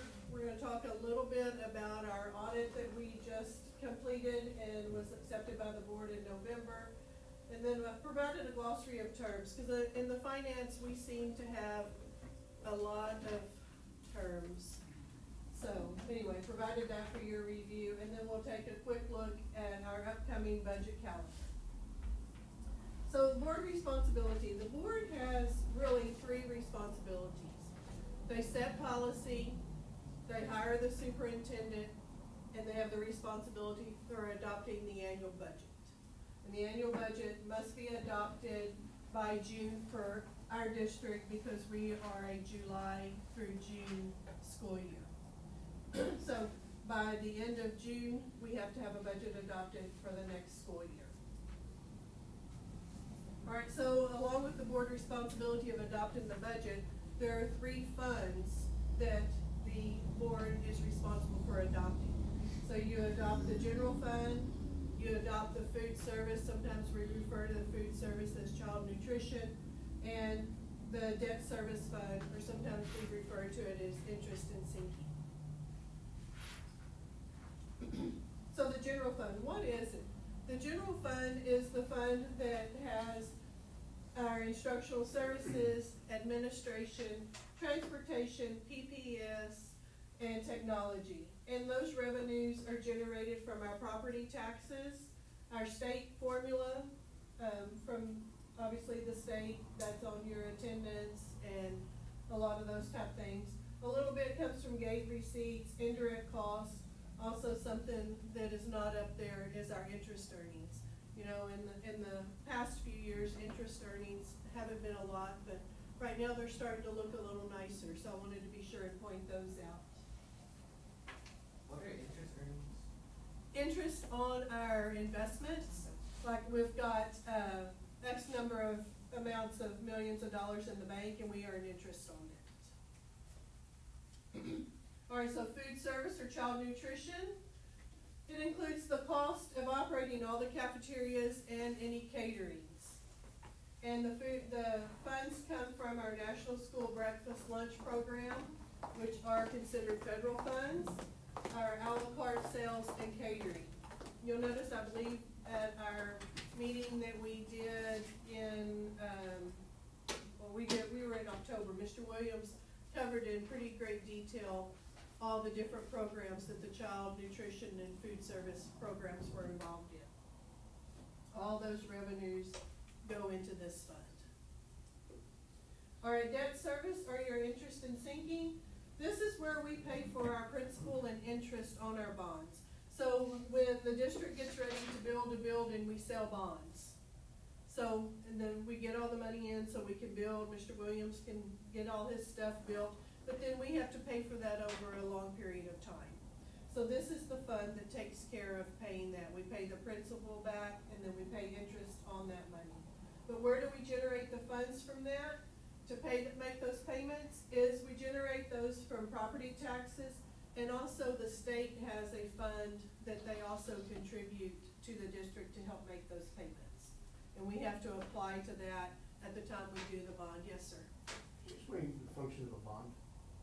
The function of the bond, Yeah, what is the bond well, we'll sell bonds to, uh, there's maintenance tax notes, so I believe the district has a maintenance tax note that they, maybe three or four years ago, About five years ago. about five years ago.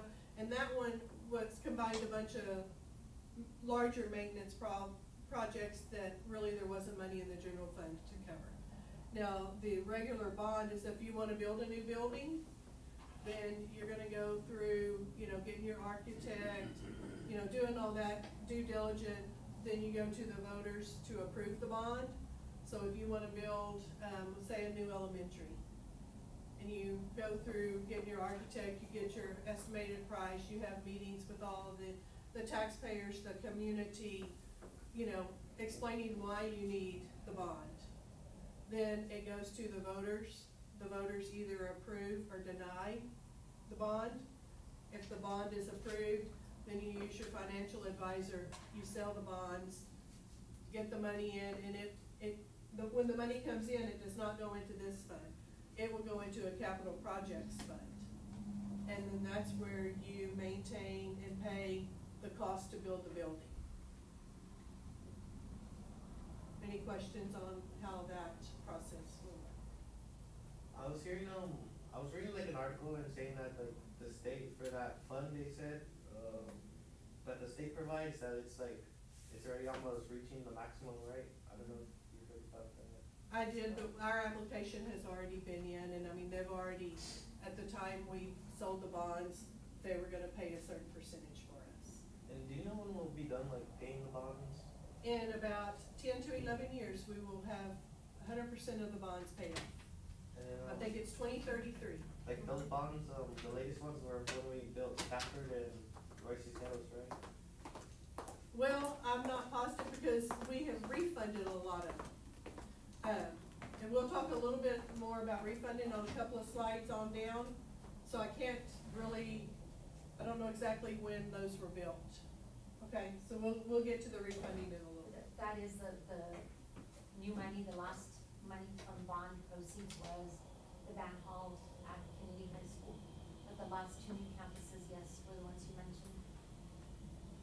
I have one more question, um, going back to the food service, um, slide, if we can. Absolutely. Uh, I know, um, when, uh, we have our meetings, like with the superintendent and, um, the staff, uh, we bring like pizza and, um, like, um, drinks, um, does that money come from the food service also? Like as catering? If we purchase it, if we purchase it from our own child nutrition, then that would be a catering for them.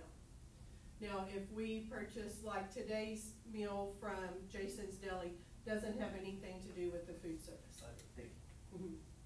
That's actually very specific for our students because it is federal monies. We cannot take monies from that fund to pay for an adult un- unless we pay it back. So we, So- we can't use their money. We would have to take monies from our operating fund to pay for the catering, and they provide us a service. We can't use the money they're generating from the students to pay for a meal for us. Oh, so like when we went to, uh, I believe the last one was, they went to, um, what's that school, uh, Brentwood, um, we used it from like the general fund, like for the. like, The lunch? Yeah. The Yeah. pizza? Uh, Can't take a few uniform. No, well, we, we, we kind of do, but we, we pay it back. We can't take from food services even when they have, and Mr. Williams mentioned at the last meeting that we have an excess fund balance, we got a ding for being efficient, right? Um, even though they have extra money, we can't use that money for any other purpose except to support the student meals and that program, so we couldn't siphon off any money, um, no matter how legitimate, to do something other than support the student meals, so. I mean, we can hire food service to cater a meal, but then the general fund's gonna write a check to the food service fund. Yes.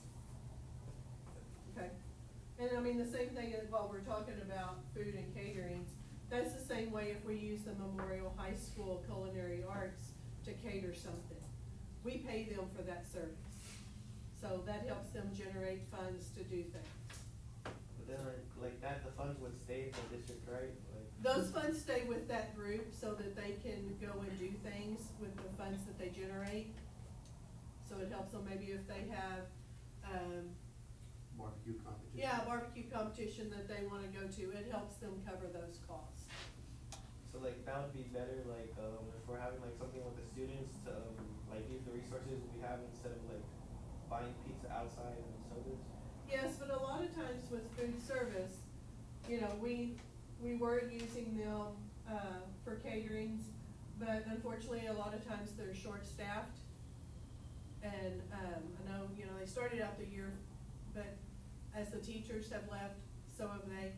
And so if they have the extra staff and they can do it, we would love for them to do it, but their first priority is feeding the students. And that usually is our first pass, we want the student, the students to, to use and showcase our students, but we also have to be really, really considerate of schedules. Like we want, we wouldn't wanna pull out a student, right now have it, we have them cater, but they're scheduled to, um, be there at twelve for their class, and we need them at eleven. That's when we need to be really cognizant, we can't just pull them for some of these events, because it doesn't fit with the academic schedule. So that's always our, our, we try to make that our first pass, it doesn't always work out just because of scheduling conflicts or, uh, the priorities being more at the campus, so. They've been at our Platicas. Mhm. And uh, it's actually, if you notice the Platicas, they have different venues, right? I mean, very good food, but very different. Mhm. And so it happens to be what they're working on in the class. All right. Did we kind of cover debt service and sinking, we're kind of good with that? Okay. All right, so back to the board responsibility, now this is specifically board responsibility on adopting the budget. So, in a minute, I'll show you a slide that shows what our account number is that we deal with day in and day out. Each one of those has a purpose, it means something, especially when we submit PEIMS, that's another thing that PEIMS wants it in that detail. But the board's responsibility is to approve it at the fund function level. So general fund, then we have all those functions, and then you have your food service and debt service. So this is that long account code structure that we deal with, and they'll call and ask us for an account number for something, and we've done it so long, we rattle off the account number, and they're all looking at us like, wait, wait, I'm still at fund. So, Anyway, so the one circled in green is the fund, and the one next to it is the function. That is the level that the school board approves. All right, so with the, I'm gonna kind of switch and go into our audit that y'all approved in November. So I don't know if you've had a lot of time to go through it and look, but there was a lot more information, especially, especially historical information, than we have provided in years past. So we were looking at the, this particular one about the ten-year historical revenue by source. So this is starting in two thousand thirteen and going through, uh, twenty twenty-two. So what do you see? I mean, we, in twenty thirteen, we had hundred and thirty point one million. In twenty twenty-two, we had hundred and thirty-four point four million dollars in revenue. And this is all three of the funds that the board approves. It's general fund, food service, and debt service. I've color coded them. So what, what stands out? Federal, state. Property tax. Yes. What about the federal and state levy? That's really large, um, more significantly, um, the state more than our property taxes. for example. more, more, um, on the federal in twenty twenty-two than previous years. It's kind of switching, isn't it? Yeah. Um, we're receiving less local, I mean, less state. We're utilizing more federal, but also what's happening down here with the orange one? It's kind of staying the same, I guess, cause like, there hasn't been huge development in our. Was it kind of staying the same or is it kind of Going creeping up, up? Creeping up. Yeah, but since the past like Because three years, it kind of looks. Slower.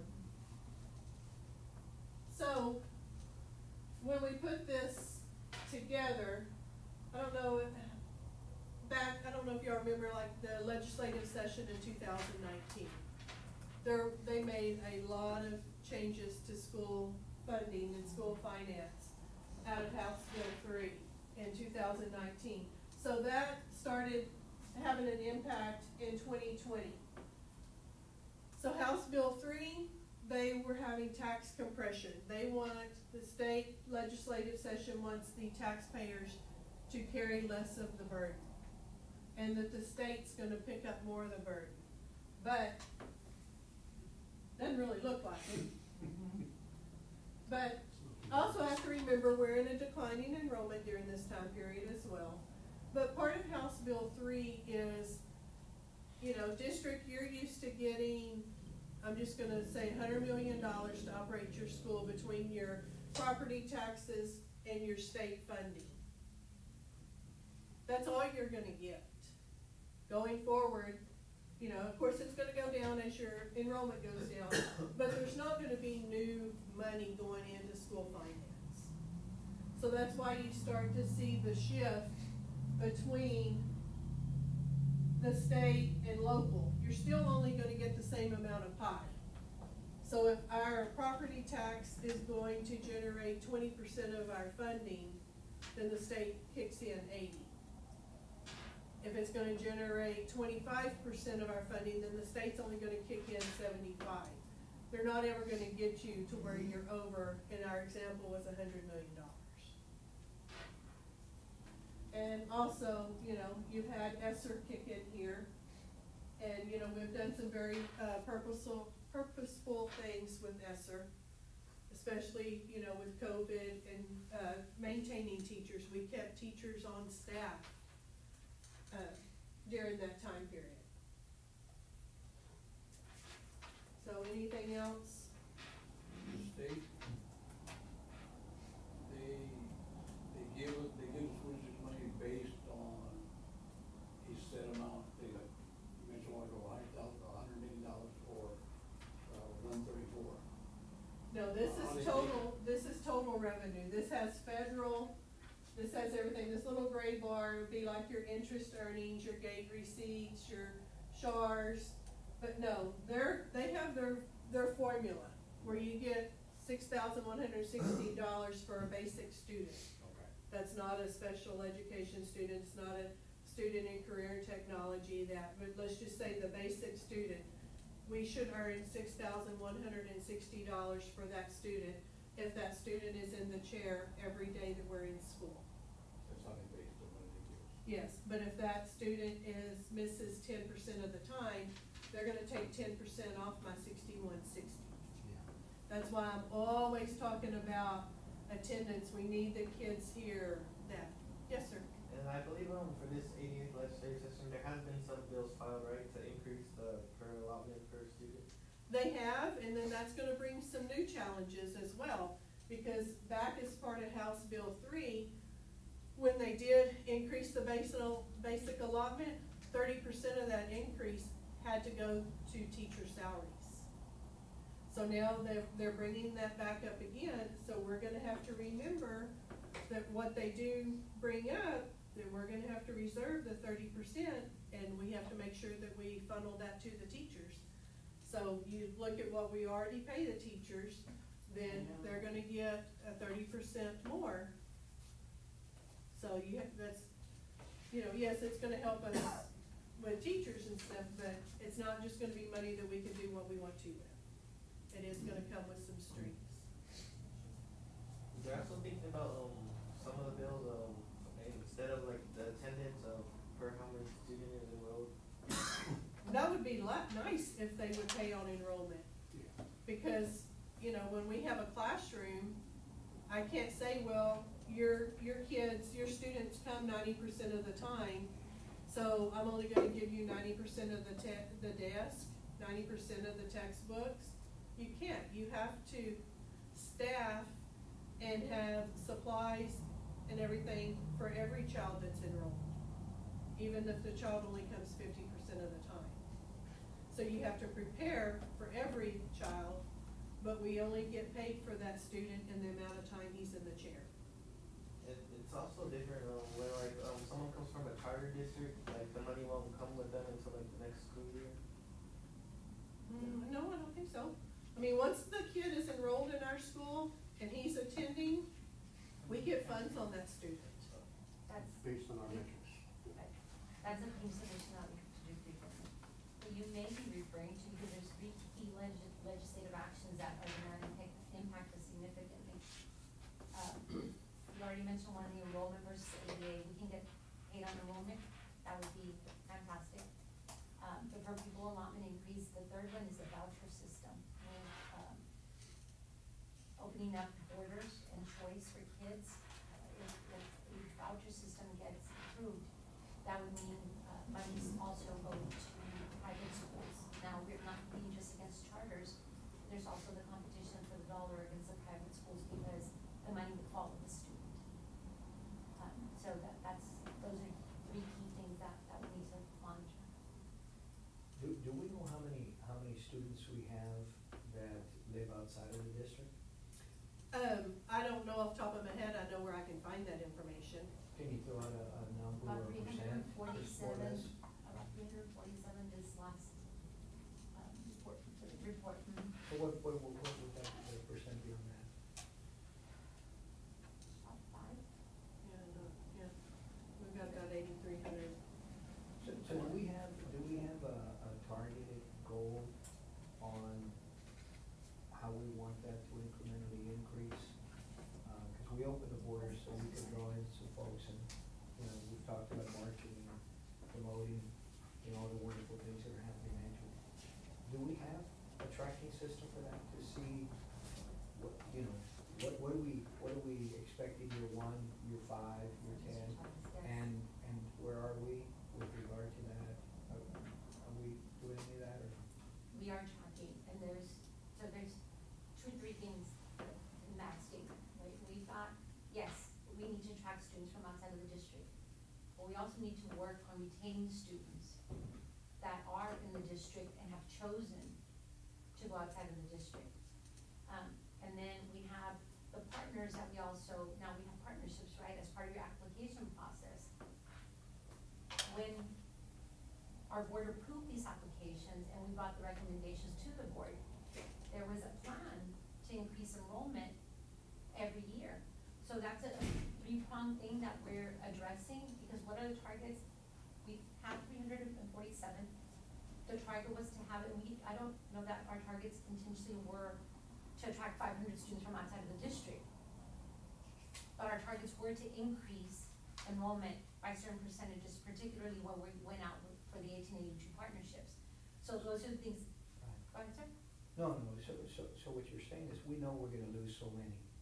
So, you know, because, because, you know, we, we, one, there's, there's less and less fa- young families in the in the Yes. community here. The birth rate. So we're, we're, we're gonna, we're gonna lose kids, so, so I'm, I'm sure there's guesstimates that we could have on that. Yes. And if you know you're gonna lose that, but your goal is to increase enrollment, How do you make it that then, difference? then you need to have that number, so you know how many you need to attract and, and Yes. make that number a positive, a positive outcome. Absolutely. I, I would think that that would be critical that. And we still have a really good opportunity kinda working be with our here. We looked at that, uh, four years ago, actually three years ago, uh, and we had approximately twenty-seven hundred students who should have been in Mhm. here. And we had about seven hundred and eighteen that actually went to one of these campuses down the road, and uh, I think nine hundred at another campus.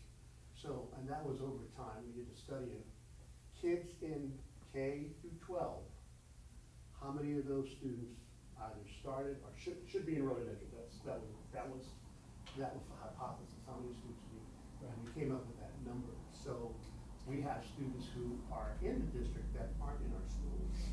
And of course, the outside, we're, we're actually gonna re- recreate that number because we're looking at what, how many students now after COVID are out. I, don't know, but I, I suspect it's gonna be higher, uh, but we don't know where they're going. So that's the one thing that we were doing in the process of now, working on with our teams, our, our SIS, to see what kids have gone, where they've gone, where they're going to, where they're coming from. And then how many in the district that should be in the district that are not. And the goals inside the contract, for every operating partner, they set goals of the number of students that they project over time. The two years for COVID was, was not a good, a good tracking time for for them. Right. We can bring that back in January. Yeah, I plan to do it now. I put it on my notes for, yes. I was gonna say, um, we're also like getting um, more enrollment for like um the Gardendale school, right? Um, no? Um, I, I just was looking at that today. Uh, currently, and I'm also building a piece for, let's look at Gardendale. Gardendale, where you at? Gee. They're currently at an enrollment of two hundred and eleven. Uh, their previous enrollment was about four forty-one in, uh, when we had our school there, when we were dropping off there at school level.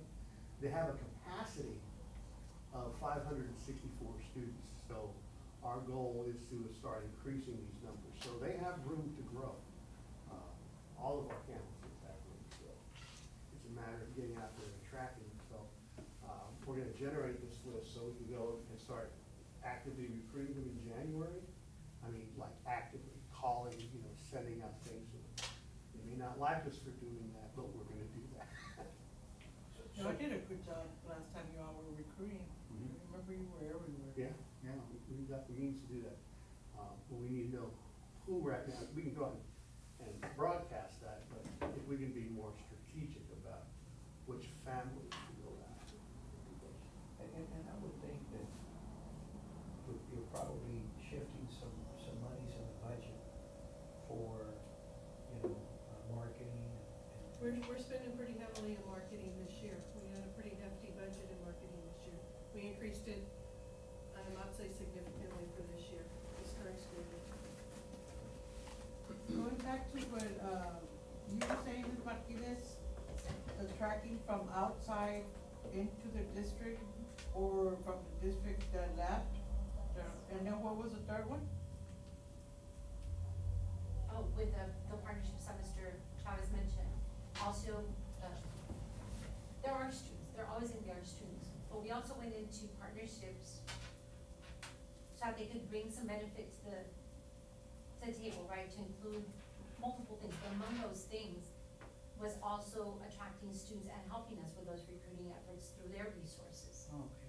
So we have a, a three-prong, uh, and actually, we just had a conversation this past Tuesday about what everybody's bringing to the table, because definitely, there are students. Part of the onus is on us, we, we've not handed the building to anybody. But we also were very specific about some of the targets and what some of the expectations were, and that included increasing them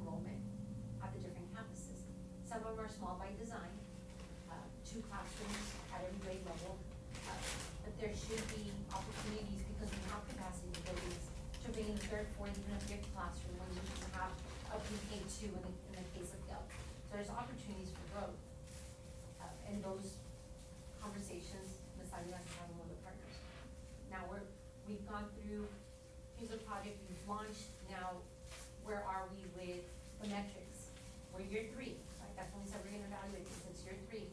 What do we look like? Did we really get what we were, we thought we were gonna get? And what tweaks do we need to make moving forward? So Ms. Salinas is already working on some of those pieces as well. I just have another question, I'm sorry. Um, if, if, if this trend continues and, you know, we're, we're uh, losing more and more kids, and, you know, we may have to close some schools. Uh, we're, I mean, you know, district of innovation, is it a crazy thought to partner with some of the likely charters that would be coming into the district because they would need a facility? And we have facilities. So, you know, I mean, we, we, our innovation is that particular, you know, whatever that particular school is bringing. Is that, is that, even on the table? That is an option, because it was actually, there was, when we first started the innovation, uh, we worked, remember Duncan? Duncan Klussmann, he's our advisor that we worked with in innovation, and he's working with Diversa. Uh, he actually ran a, s- a school in Aldine that was Yes and KIPP and, uh, and, and the campus and the district. So they had three individual in co-locating in that one campus. I believe it was a. It started off really rocky, but it, you know, it's still up and running today. So, yeah, buildings are, are a big issue for charter, that's, that's the biggest expense, and that's why we're able to start them with partners, because we have the buildings. Um, but that, that would be a, uh, we've, we've chatted about that. Cause the funding, the funding would be, you know, significantly increased because they have access to monies that we don't have access to. Yeah, their, their, their summary of finances, they, they get a lot more money per student, just by the nature of being a charter. Might, might be a thought. We also have those charters in our district boundaries, right? Like KIPP, IU. KIPP and IU. And then that one on Port Center. Promesa, promise? Yeah. And I think it's also just for relevance, because that- that's definitely a- an opportunity. What took that off of the table this last legislative session, we talked about buildings and we were talking about bonds, but just for context. Last legislative session, the legislative actions made available to charters monies to create, or to, to build their own buildings. They didn't have to through process, but they did match some of the, their funds to create or to build brand new buildings. That opportunity at the last session was not afforded to school districts. So while two years ago, and so this next legislative session, right, depending on what monies are available for expansion, that may very well be an option for us to put on the table. But if the legislature decides to match buildings, and when we have to offer a facility that they're gonna rent it, have to come in massive, do massive amount of renovation, and I don't have money to match that. So if I even have a fifty percent contribution from the state to build a brand new building, and coming into a facility that's aged and may need a lot of, of, uh, monies to bring it up to par, and I'm not getting any funding, so my dollar here is gonna get me, in a new building, is gonna get me, um, much better return than sinking it into a building that's aging that gonna have to do repairs. So that option, Mr. Soto, is really gonna be contingent on what options they have available, they meaning the charters, are gonna have available for their expansion projects moving into the future. So depending on what the legislature does to allocate or not allocate funds, that's gonna, that may give us a lot of leverage if the funds are indeed running out and they're not gonna do matching anymore. And with that example, I mean, you're saying it's cheaper for them to level one of our buildings and rebuild one? Potentially, depending on the land or not, or just go find something else, if they, That- it's that could be- location, That it's could be part of location. the partnership. Location. Yeah, I think if you were, when we went to, uh, Wetsy, or we, we sold Wetsy, they still have the building there. Yes. Their biggest their biggest I thought challenge. they had leveled that. Demolition of that building. I think they wanted to, there's like having a conversation about preserving Lincoln Elementary School now. Yeah, they had, uh, they actually, when we were planning that whole Betsy part, that new addition, they talked about having inside the new addition a, a location to kind of pay homage to the, the, uh, the, uh, the history of, uh, of that particular school. And, uh, yeah, I think now they're, they're at a point for, do that. But there's a lot of renovations that have to happen to that building. They have ribbon cutting in January, right? I don't know. I I know talked to they've done Gene, Gene, uh, when they were here the other night. Do you know if they'll keep the plaque that says Lincoln Elementary? I don't know. That's theirs. That's it. That would be good. Yeah, it was a real, it's a real, it's a, kind of keep that building.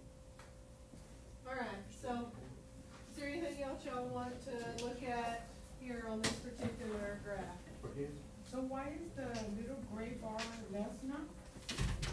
You mentioned it was several things, right? Well, a lot of it is our interest earnings on our investments. Oh, Remember, y- here, in the last couple of years, it's been like 0.09%. of course, now, right now, it's, it's nice, and we're gonna keep maximizing that at the best we can. Um, and a lot of that's kind of gate receipts, so of course, you know, COVID, we weren't able to have sporting events, yeah. that type of thing. Also, SHARS goes in there, our school health and related services, um, and that's kind of declining a little bit as well.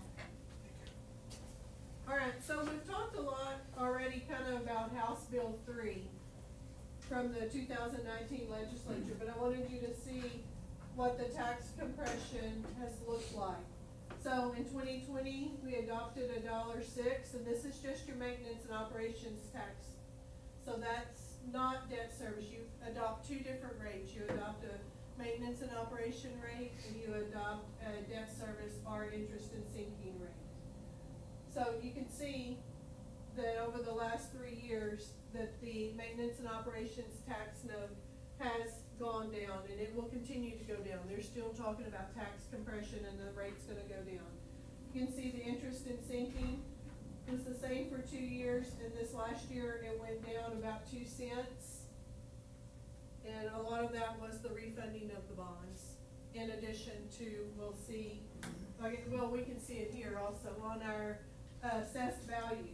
So this is the assessed value of what we're generating these pennies on, so that would be, this is per one hundred dollar value of what we are generating. So you can also see what the values have done in a ten-year period. They're a billion dollars more in a, in a ten-year period. Even though the taxes have gone down and we talk about it for, for the hundred thousand dollar valuation, our taxpayers, even though that, when they talk about, the legislature talks about tax relief, because this number, the assessed value keeps creeping up, our taxpayers don't really, it, it could be a lot worse, but our taxpayers aren't really seeing the relief, just because those property values have spiked up so much. Right, so that, that's really important, because the, the taxpayers aren't getting the relief we thought they were going to get. Right, so, Yeah, we're not getting. no, that's true. All I know, my house keeps getting older and it keeps, Yes, sir. it's more, more money. I was asked this question, oh my God. In budget usually. I don't know how the subject came up about giving businesses tax break in our district. Who, who determines the tax break for the business in our district? I do not answer that question, that's why. I mean, I, I think the board is the only one that The can. board will do it, right? Hmm? Like the bill numbers? That can't pass. Yeah. That, that was the question, uh, they were asking me, I was at a different, uh, association meeting, and they asked me about tax rates for Bill Millers. I go, I honestly don't know, I didn't know who, who would give them an incentive and for how long, so it would, it would have to be the board that approved it, right? They usually petition through the city. This is only our tax rate, the city also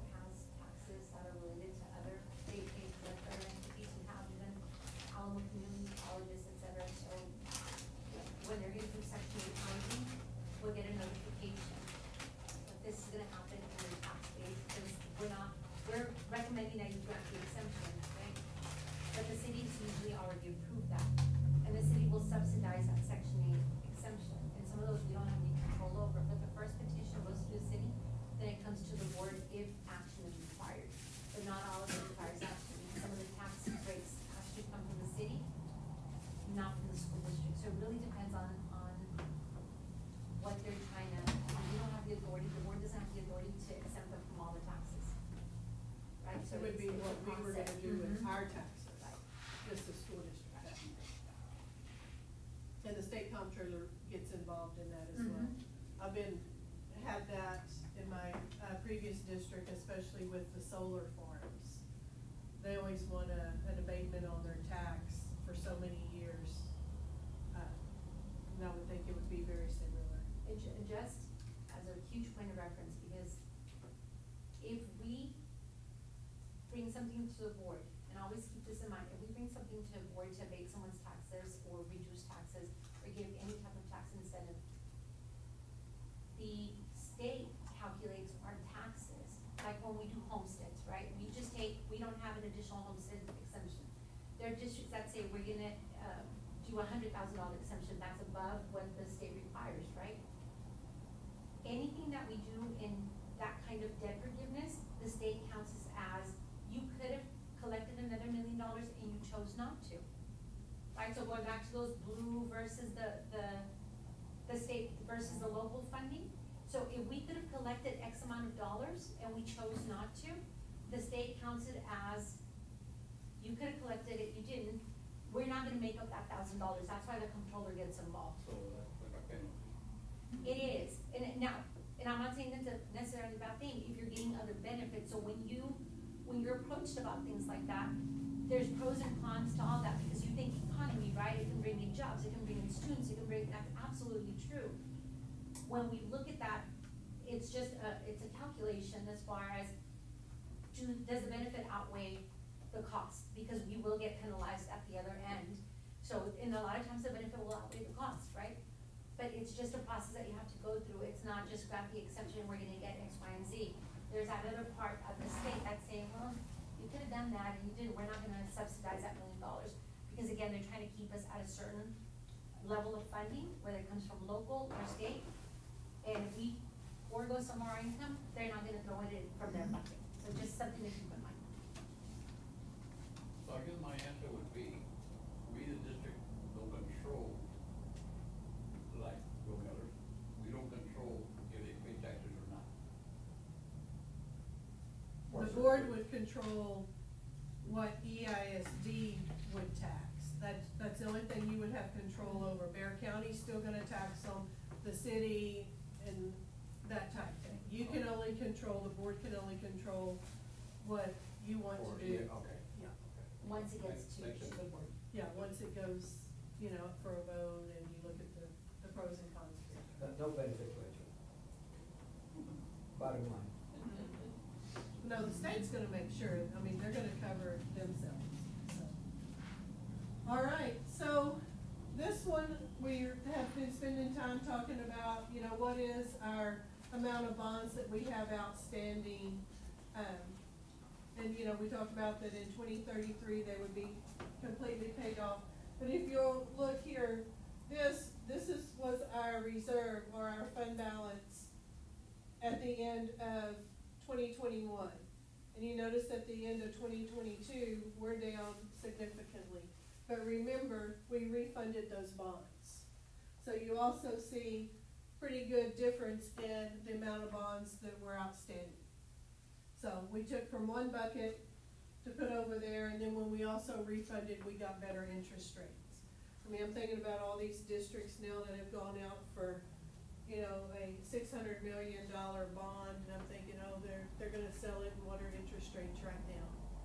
You know, um, I think when we refunded, it was a good time, and we've got really good rates, and make it easy to, to get it paid down. So that, that bond money was dates back all the way to twenty thirteen? That was the original amount? No, not the original amount, two thousand thirteen, that was the amount that was on the books of two Okay. thousand thirteen.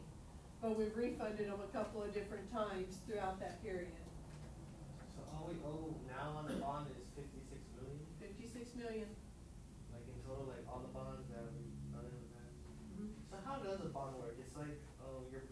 borrowing the money and then like how much it'll be worth in like that 30 years? No.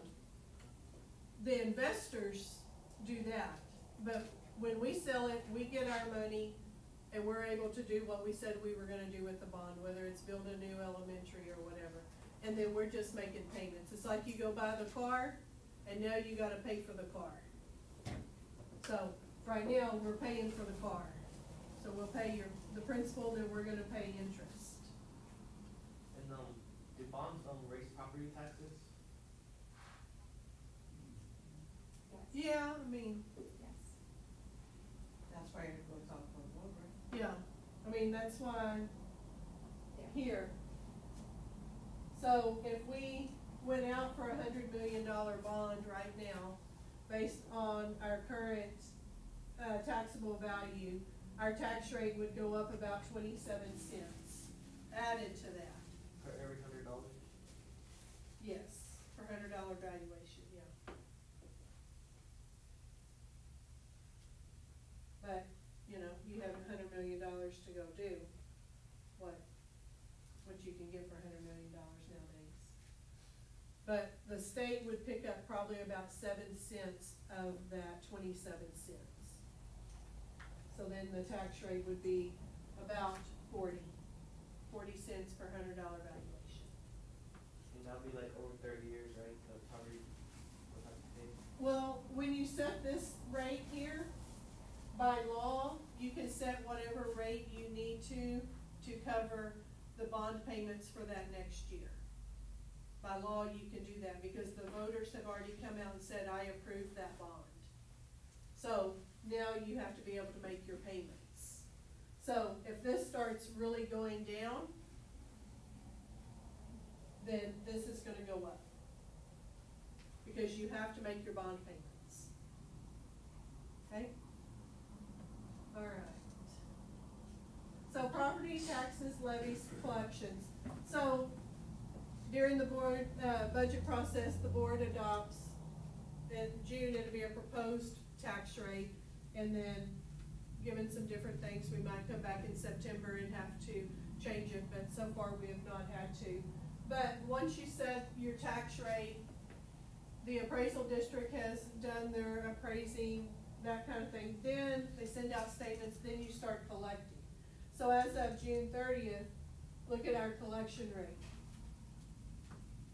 We're right under ninety-two percent collection rate. So look at the previous nine years above that. It's the lowest in ten years. And that's as of June thirtieth. So again, that kinda goes back to our economy right now. You know, so we also have to keep this in mind when we're spending money in our cash flow, because less money's coming in than we thought was gonna be coming. And that also affects this, so this is why you're gonna keep a reserve here.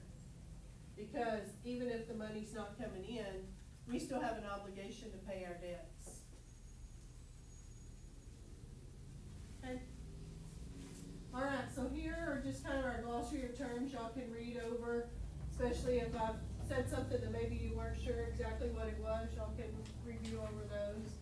And so now, you know, our cycle was kind of complete in November. You know, we had worked all year, adopted a budget, and now in October, we did the first report. November, you approved the audit, and so now we're gonna start the process again. So we're gonna start, um, we've already started, especially, uh, HR has been reviewing staffing, etc. Um, we'll really start ramping it up in January to, um, start getting information to the campuses, their allocations, uh, campus staff meetings, um, and we're, that's what we're gonna do up through June. June, we're gonna adopt a budget. Um, then August, this is that compressed tax rate, and then that'll determine whether we have to come back and make an adjustment to our tax rate in September that we've, we've not had to do. So, I think that's all that I have. Any questions? Sorry about that. Any questions? All right, well, thank you all. Thank you. Look forward to the next six months. You? Wait, I did have one question. Yes, sir. Uh, so, um, the next, we'll have a new budget cycle, right? Uh, will there like be an increase in like the budget? Don't know that yet. It depends on staffing, which is a, a large component of our budget. Um, but the main thing is it's gonna start with our estimated revenue. We'll start looking you know, based on what our values, what we anticipate our values to be, what the maximum rate that we can adopt is, and we're gonna start with revenues and we're gonna try real hard to live within our means. Yes, sir. Tough to spend what you don't have, right? Mm-hmm. Well, But there- there's also been some very, this, this is the scare right here, is because all of these are federal dollars, mainly the ESSER. But Pam and her team have done a great job in also working the fund balance to where we're socking money away, knowing that this was gonna happen, so that we have like at least a year or two to maintain some of the initiatives that Mr. Reno talked about, Mr. Williams, and what we do, Mr. uh, Greathouse, some of the things that we're doing to support academics.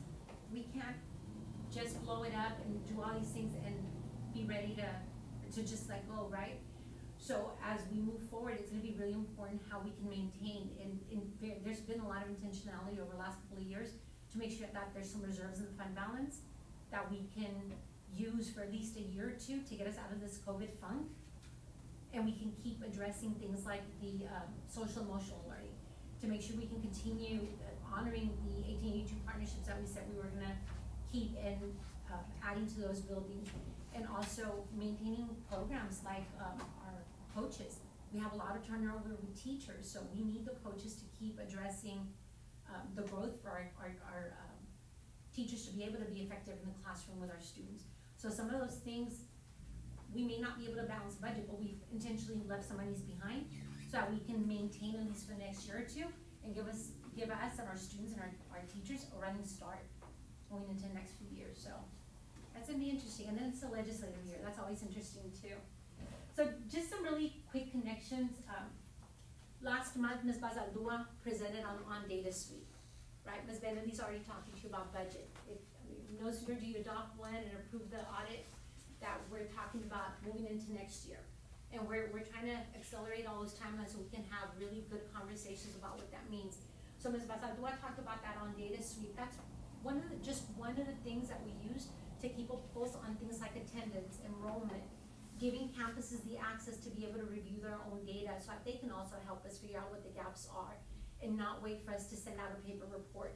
So some of the, systems processes that we, we've been talking about over the last com, uh, last couple of years, this is the culmination of all that, is giving people real-time information. Um, and that's gonna affect how the data's rolled out as well, right? So, uh, Dr. Silva talked about assessment strategies and online testing. Mr. Chavez also spoke about, uh, spoke about mCLASS for reading, measuring student progress, right?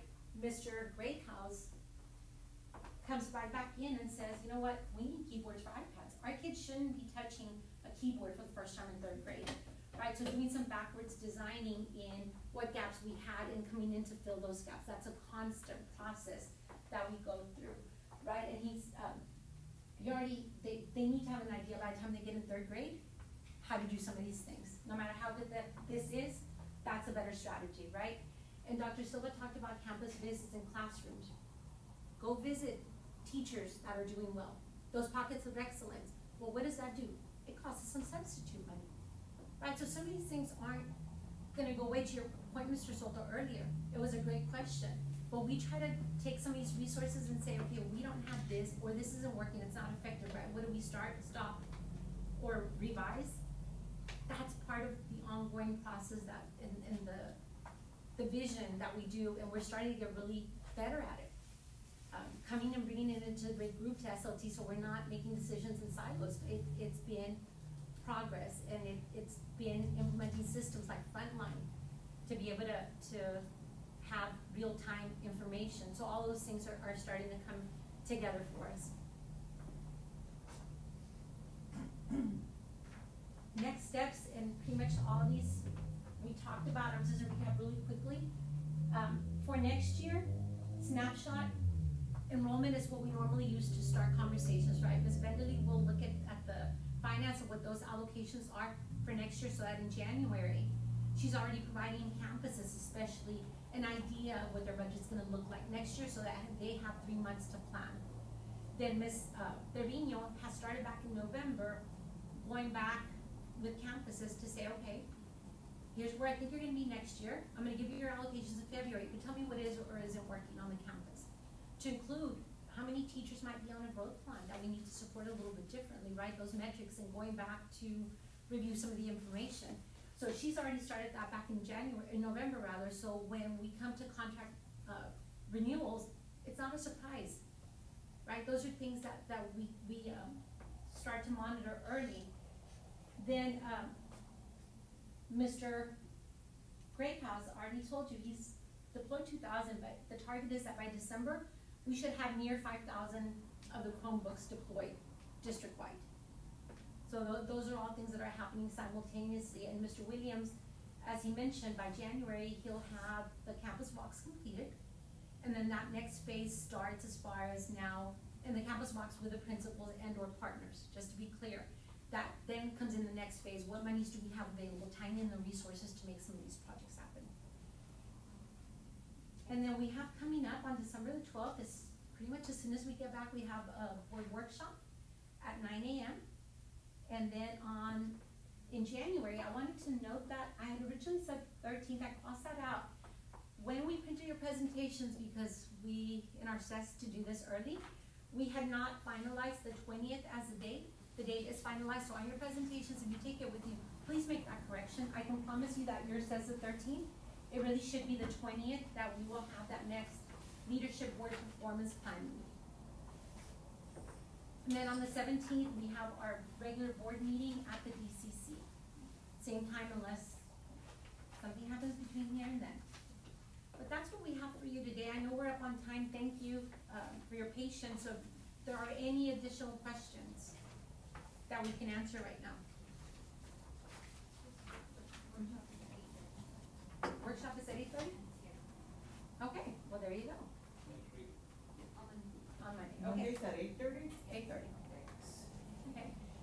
Now, I'm, I'm gonna say something that, because the ten, ten years, that information has been presented, that's in your financial statements, the copy of that, a big fat book that everybody was just really anxious to read through. That, that, there's a lot of work that goes into that audit, and to put ten years of data together, so thank you for that. Um, we had a solid opinion from the auditors with no findings. Now, uh, I will tell you that TEA for the last three or four years, uh, Mr. Paul Moreno, I know him by name already, loves to find a couple of little things, um, but they are, they're reviewing our data, our, our numbers are solid, and they usually come back with something like, the TRS contribution is, uh, reduce your, uh, net assets, and therefore you're, you need to monitor. Well, that didn't happen this year either, but that's some, some of the things that we can think not are out of our control completely, but, um, thank you, Ms. Bentley, for that. They have to write something. Yeah, they have fun. So that's, I wasn't trying to say that, but yes. we'll get a letter no matter what. Uh, so, anything else? Thank you all. Thank really you. appreciate the time. Thank you. Thank you very much.